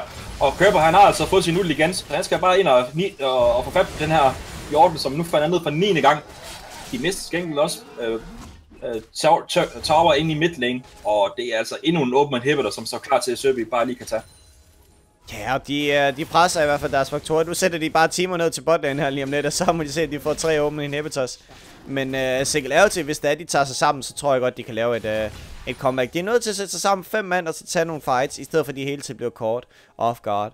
Så Singularity, begynd at spille op af jeres combo. Få skabt nogle teamfights. Og, hvad hedder det, de er nødt til at fange den her... De er nødt til at fange den her Søndergaard. Hold nu op, han har spillet rigtig flot det første, eller det game nummer to her. Ja, han er over på, på 3,5 item allerede nu. Og det er Deathcap, hvis jeg ikke tager helt fejl, han, han kigger på som fjerde item. Og vi er altså ikke engang halv time inde i den her kamp. Ja, vi er 28 minutter inde, og der har været 30 kills. Der er stadigvæk uh, masser af fest herinde. Uh, så bliv endelig, guys. Uh, der er, er kill for alle pengene. Men uh, generelt så kommer Baron op her om uh, 50 sekunder. Der er igen mulighed for en uh, service deal, men nu går det ind og kigger på Finn Finn. Ja, Finn Finn, han kommer ind, han bruger sin chrono break.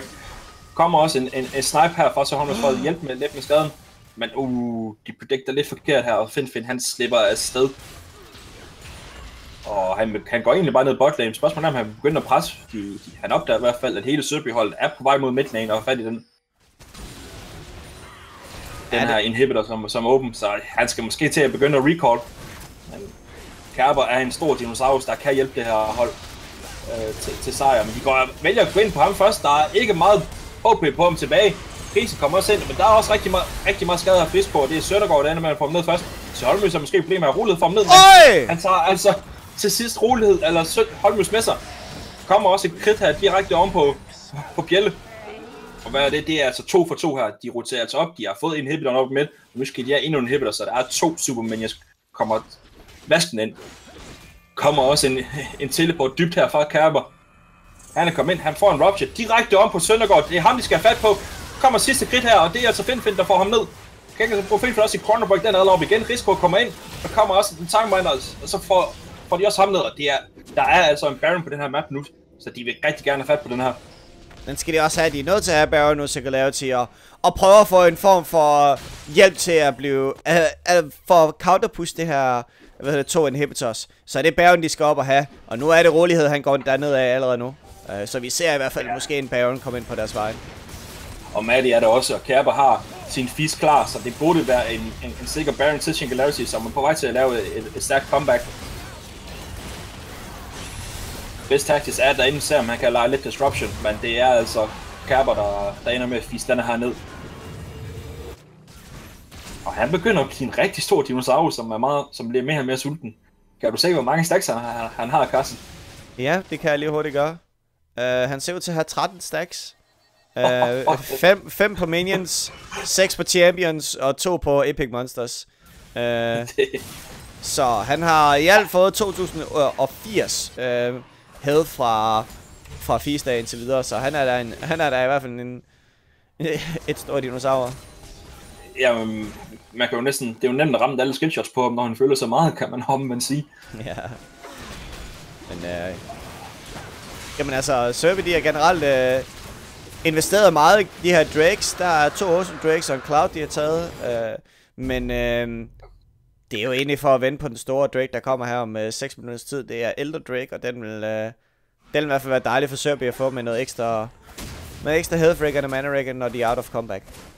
Combat. Og nu gør Serbia også det, som man også burde gøre. De har de her to open inhibitors op i top og i midt, og så pusher de bare alle mand ned i bot. Fordi de bliver nødt til at svare uh, Singularity på de her push, der kommer fra de her Super Minions. Uh. Og Risco, han kommer ind, men Kerber, han er altså meget tanke. Han har ufattelig meget i 5400, hvis jeg læser rigtigt.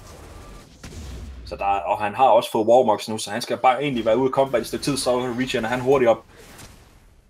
Omvendt så har de også den her Baron til at hjælpe sig med at push fra, fra Singularity. Det, ja, hvad, hvad, hvad skal Søby gøre for at åbne op for det her Singularity-forsvar? De er nødt til at... Jamen altså, blive ved med at push bot lane og vende ind til top og midt, den pusher øh, ind. Det er de nødt til, ellers så får de ikke noget ud af det her. Så kan Singularity bare wave clear. Og de er nødt til at passe på den her Echo W. Øh, fordi hvis først Echo op, øh, rammer en W på enten Syndra eller Caitlyn, jamen så er der ikke så meget at gøre, fordi så følger de op med Rupture og Leona. Og... Så jeg ser i hvert fald... øh, jeg ser det her som, som gode muligheder uh, for, for Sørby. De skal passe på. Og de spiller også. Ja, men de spiller meget tålmodigt her. De er udmærket klar over, det er deres top og, og midlaner, der, der pusher ind mod Singularities base. Så de skal egentlig bare vente på, at næste wave kommer fra bot, og så dræbe den hurtigt, og så begynder de også at pushe ned for bot. Benfin ja. bliver også tvunget til at gå op, og altså, han er nødt til at reagere simpelthen på det her push, der kommer op på top lane. Hvilket betyder, at Serbi, de begynder bare at presse endnu mere på, for at på det her sidste inhibitor-tårn, der står tilbage. Ja, det gør, og det vil, det vil blive ved med at presse i længe, men øh, jeg tror også, lige om det, der ser vi altså et fight, fordi hvor er det, at øh, de ikke bare vil øh, holde sig tilbage. Og jeg tror faktisk, det bliver nu. Der kommer rigtig mange skud herfra. Den her Maddie, og han får måske det sidste kridt op på Solmus, men han kommer flash væk. Det sidste, der mangler på Solmus. Oh! De kommer ned der, det er grisen, der får det med, med, med sidste Ignite. Og det er bedst tactics, der prøver at pile fra sit hold så bedst han kan, men jeg tror, han bliver snart lavet om til, til kebab for det her Singularity hold. Der var det, det gate, de, de skulle have. De vælger at svare igen. De vælger at svare igen og sige, jamen, så lægger vi altså ikke op. De har stadigvæk det her wave player fra, fra Søndergaard mm. og, og masser af skader derfra. Til gengæld så... Åh, oh, Nexus Turret! Altså også komme ind på tårnet, og det er det første Nexus Turret, der falder ned her. Alligevel så vælger Sø Sø Sø øh, og Eggers fra igen med at push op på den her sidste inhibitor-tårn. Puh, her er det tæt det her, Karsten. Det er et meget, meget tæt game, og jeg mener stadigvæk, det er sikkert lavet til, der smider en mere end øh, uh, Serbi, de spiller den her godt. Uh, det er altså stadigvæk som om, som vi kunne se i sidste teamfight, de har altså ikke problemer med at gå ind på backline og, og få det, de vil. De vil have en, uh, de vil have en Kalen, det fik de. Uh, det, det handler rigtig meget om, hvad de, hvad de ønsker. Åh, oh, Bjelle. Ja, Bjelle, han, Finn Finn kigger i hvert fald ind, men der er begynder at komme skader nu på den her Timo. det gør der før eller siden, så når han jo også til 6 items. Selvom der er et godt stykke vej nu, må man sige. ja, man. Det er her, vi kan komme til at se, at Serbi de måske overextender med at, med alle sammen gå ind med det shop, fordi nu er de har burnet deres flash på, på deres carries. Uh, de har en Timo selvfølgelig, der kan bruge rooms over det hele. Men hvis vi kigger på det, så har vi også en Kerber med flash, vi har en uh, Grisen med flash. De kan altså gå ind og ramme deres carries Ja, de vælger at komme ind. Der kommer også en call her fra Matti. De får fanget Risco. Best Axe kommer ind og så hjælper sin support. Risco kommer ind, han flasher væk. Kan de få fat på Søndergaard? Søndergaard måske i problemer her. Rullet kommer ind og ser, om jeg kan få execute ham. Kerber kommer ind, og han nummer numbers fuldstændig ham ned. Gengæld så falder han også selv tilbage til Fountain. Kommer sidste, sidste ting her. Rullet har måske problemer. Han får en det. nok op fra Alistar. For en til Holmløs er stadigvæk fuld heft. Matti er altså ikke. Og det er to for en til gengæld Singularity's fordel. Men det er som om, det er Sørby, som er bedst, ja, som er klar til at tage endnu en teamfight. Åh, oh, den Alistar, han er stor. Når han står i en teamfight og venter, eller modtager damage, der er det, man ser lidt det der Jens, øh, Jens mangler, når der er, der er nogle tanks, der står foran ham. Det er det her med, at han ikke er en decideret tanks ritter. Han er, han er stærk imod, jamen altså sådan nogle champions som Synder. Vi kunne se hurtigt, det gik uh, mod Sin Xiao, men han er ikke stærk imod uh, tanks, og det er hans store problem. Så Matti, han skal sørge for bare at, at ramme carry så, så godt han kan. Uh, I hvert fald når det er muligt, fordi jeg tror, at Alistar står 80 på ham resten af gamet. Og de får i hvert fald skubbet lidt ud igen fra, fra deres egen base, og de bibeholder deres to turrets, som er, eller undskyld, to inhibitors, der er blevet respawnet. hvilket gør, at de, de får lidt mere rådrum, man kan godt med, i hvert fald også i deres egen jungle, mens der lige bliver trøjet om på en, på en shroom her fra Maddie. Gelle, han fortsætter altså bare med at split push ned bot. Det er som om, han har sat øh, camp op der efterhånden. Og der er nu 51 sekunder til Baron op, og det spawner omkring samme tid med den her Elder Drake. Så er spørgsmålet, om vi, kan, om, om vi får et, et trade at se her, men hvad, hvad vil Sørby øh, vælge i den her, i, i sådan en trade, hvis der er? Jamen, jeg tror egentlig, Sørby de gerne vil have, have, have skubbet den her botlane, så de har kontrol over den. Øhm, det er ikke fordi Timo er sådan en, der tager tank så hurtigt. Øh, men prøv ikke mærke til, at nu er det, at Elder Drake den er snart op. Det gør altså, at øh, uh, Sigalauti, de skal passe på. Uh, de har en Ego, der har pushet top lane. Og så må vi se, hvad de, uh, hvad de gerne vil. For lige nu ser det altså ud til, at, at Sørby de har kontrol over, hvad, hvad de vil, og det er en af dem, der dikterer det hele. Nu er det Ego, han står top lane med, med lidt spænd og tager turret, men uh, nu går de på Elder Dragon. Lad os se, de ja, trader det... måske Elder Dragon for et Baron. Og så er også spørgsmålet, hvem der får mest ud af det.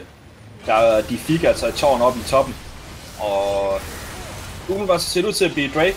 Stadigvæk så, eller øh, en Baron, og der kommer Draken versus Sørbit, og tror, at det bliver en sikker Baron her til Singularity. Til gengæld så er Søndergaard altså begyndt at push op top.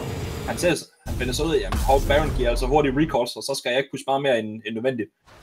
Og jeg tror ikke, han, ej, han er ikke nok skadet til for den. Men oh. han kan måske blive fanget. Kommer en single blade her, så får han ramt. Kommer også rigtig godt nok op her. Det mangler sidste, der kommer sidste skud her fra Mati. Og så er Søndergaard ned. Hvor skal damage der komme fra? Så Holmus, han er altså ikke umiddelbart. Han er altså backline her, og han bliver burstet rigtig langt ned i rolighed. De får lidt hjælp her fra Redemption, og de vælger så at disengage fra, fra det hold, som har fået baden. Og det er altså en, der nu har mistet den her øh, Dragon Buff. Det er en, der har mistet Dragon Buff, og nu kan de begynde at push waves op og køre øh, en, jeg vil egentlig kalde den en 1 3 dog er, dog er en super tanky choke af. Øhm, men roligheden, han, blev, han når altså ikke at gøre så meget impact i teamfight. Han når at jump ind en gang på Søholm. For et krit lige i smasken. Han modtager 900 damage, og så er han nødt til at hoppe ud igen. Altså, det er ikke, uh, det er ikke helt uh, holdbart for, for Singularity. De er nødt til at have Kerber ind på, på den her Caitlyn der. Men de fik Søndergaard, så det var egentlig fint. Og Kerber, han er, han er et monster uden lige. Det, det ligner Godzilla ind i New York City efterhånden, som bare smadrer de her tårne ned. Og det er altså 6.000 HP, han har kommet op på nu. Og jamen, han kan jo fortsætte i bund og grund med, med det her scale, og det kommer også rigtig meget skade her på risiko. Ja, og det er fra en tjene af. Ja, det er Singularity, der begynder at, at pushe ind nu. Det er som om, at det, fra at være oppe i i højre, øh, top højre hjørne, så er vi gået ned i venstre øh, bundhjørne af, af mappen. Ja, og nu, øh, nu er det Serbi, de, de er altså ikke bange. De har altså nogle øh, boller at stå, hvis man sige det på den måde. De, de tør altså gøre noget, og nu ligner de, de vil og push midlane. De rusher down mid, hvis de skal ja, man. lidt mere ananas i, i juicen, og de vil fatte den her inhibitor.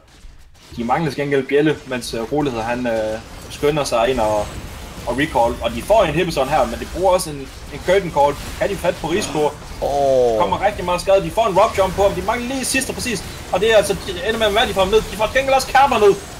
Til så rører roligheden ned, og Pjelle han falder også tilbage. Åh, oh, så er det godt. Så Holmes, så Holmes er væk nu. Der er kun bedst taktisk tilbage. Han gør alt, hvad han kan for at overleve her. Men der er altså rigtig meget skade på det her. Øh, Singularity hold stadigvæk. Og nu er spørgsmålet, om de kommer ned og Der er rigtig lange, rigtig lange death timers på dem her. Ja, de skal lige have taget Superminion, som Matti han gør lige nu. Uh, men de kan i hvert fald gå hen og push top lane. Det er meget, meget tæt, om de kan få den her inhibitor, fordi der er lang walk time. Uh, jeg ser i hvert fald muligheden. Og der er et flash over for Matti. De vil vinde det her game. simpelthen over, bare for at undgå at spille så meget tid som muligt. Uh, der er et spørgsmål tid. Shin Shao over 5 sekunder. Bjelle er altså over 18 sekunder. Åh, oh, det er tæt det her, Miki. Det er meget tæt. Finfin, han gør også alt, hvad han kan for at prokke den her Sheen og lave så meget skade som muligt, men jeg tror i sidste ende, det er nok sidste, sidste attack her på den, og så er der kun uh, Nexus tilbage. Disco er oppe nu. Han er altså 3 mod 1. Han gør, hvad han kan for at komme ind på ham. Han flasher ind, men der er lige præcis det sidste autos fra Finfin, der ender med at give sejren til Singularity. Woo! Et game. Ja, hold op. Hold op. Jamen dog. Vi fik noget, ja, vi fik noget af det, vi ønskede, kan man vist roligt sige. Ja, det, det var ikke roligheden, der gjorde det ved os i hvert fald. Da. Det var... det kan man vist roligt sige. Point, pointing. Men øh, det, var et, øh, det var et vildt game. Øh. Det er som om, at Singularity sådan sagde, nej, på lige høre, guys, vi skal lige slappe af i 35 minutter. Lad os bare lige tage det og, og slappe fuldstændig af, og så spille efter og have det sjovt. Øh, det samme gjorde Su- øh, Serbi med, med Timo Top, og jamen altså, jeg vil bare, jeg vil egentlig bare sige, øh, det er i orden det her Serbi, det, det kan jeg godt lide, at de, de tør at spice det op.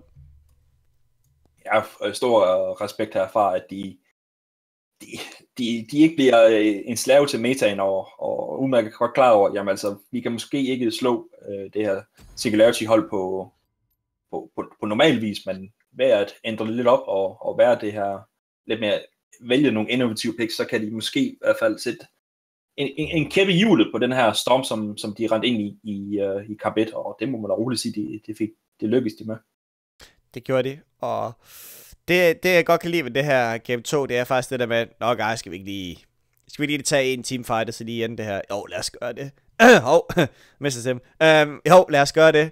Og så tager de den her teamfight midt lane, og jamen, de når egentlig bare at eksplodere, og Søndergaard uden han når nærmest at poppe ultimate. Og det var rigtig, rigtig, det var rigtig godt at se, at de egentlig tog sig sammen. Uh, det er lidt sjovt, at det skulle tage 40 minutter, men sådan er det nogle gange med hensyn til, uh, til sådan nogle fester her. De var enten øh, 5 minutter eller 10 minutter, eller en hel nat, ikke?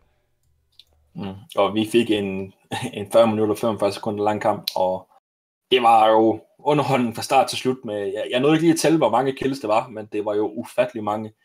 Og ja, tak til begge hold for, for, for så underhold, for så stor underholdning. Men uh, vi skal også lige uh, sige, hvem, hvem skal have øh, MVP i den her kamp. Jeg synes, der, der er nogle gode muligheder, på trods af, at det, det blev så tæt. Mm. Ja, vi har jo... Uh jeg synes faktisk, Matti på, uh, på Jen egentlig fungerede rigtig fint. Uh, men han var ikke så i øjnefaldende, men han spillede egentlig rigtig godt. Uh, og så, jamen jeg sidder jo og tænker på, skal jeg bjælle have den på grund af to timer?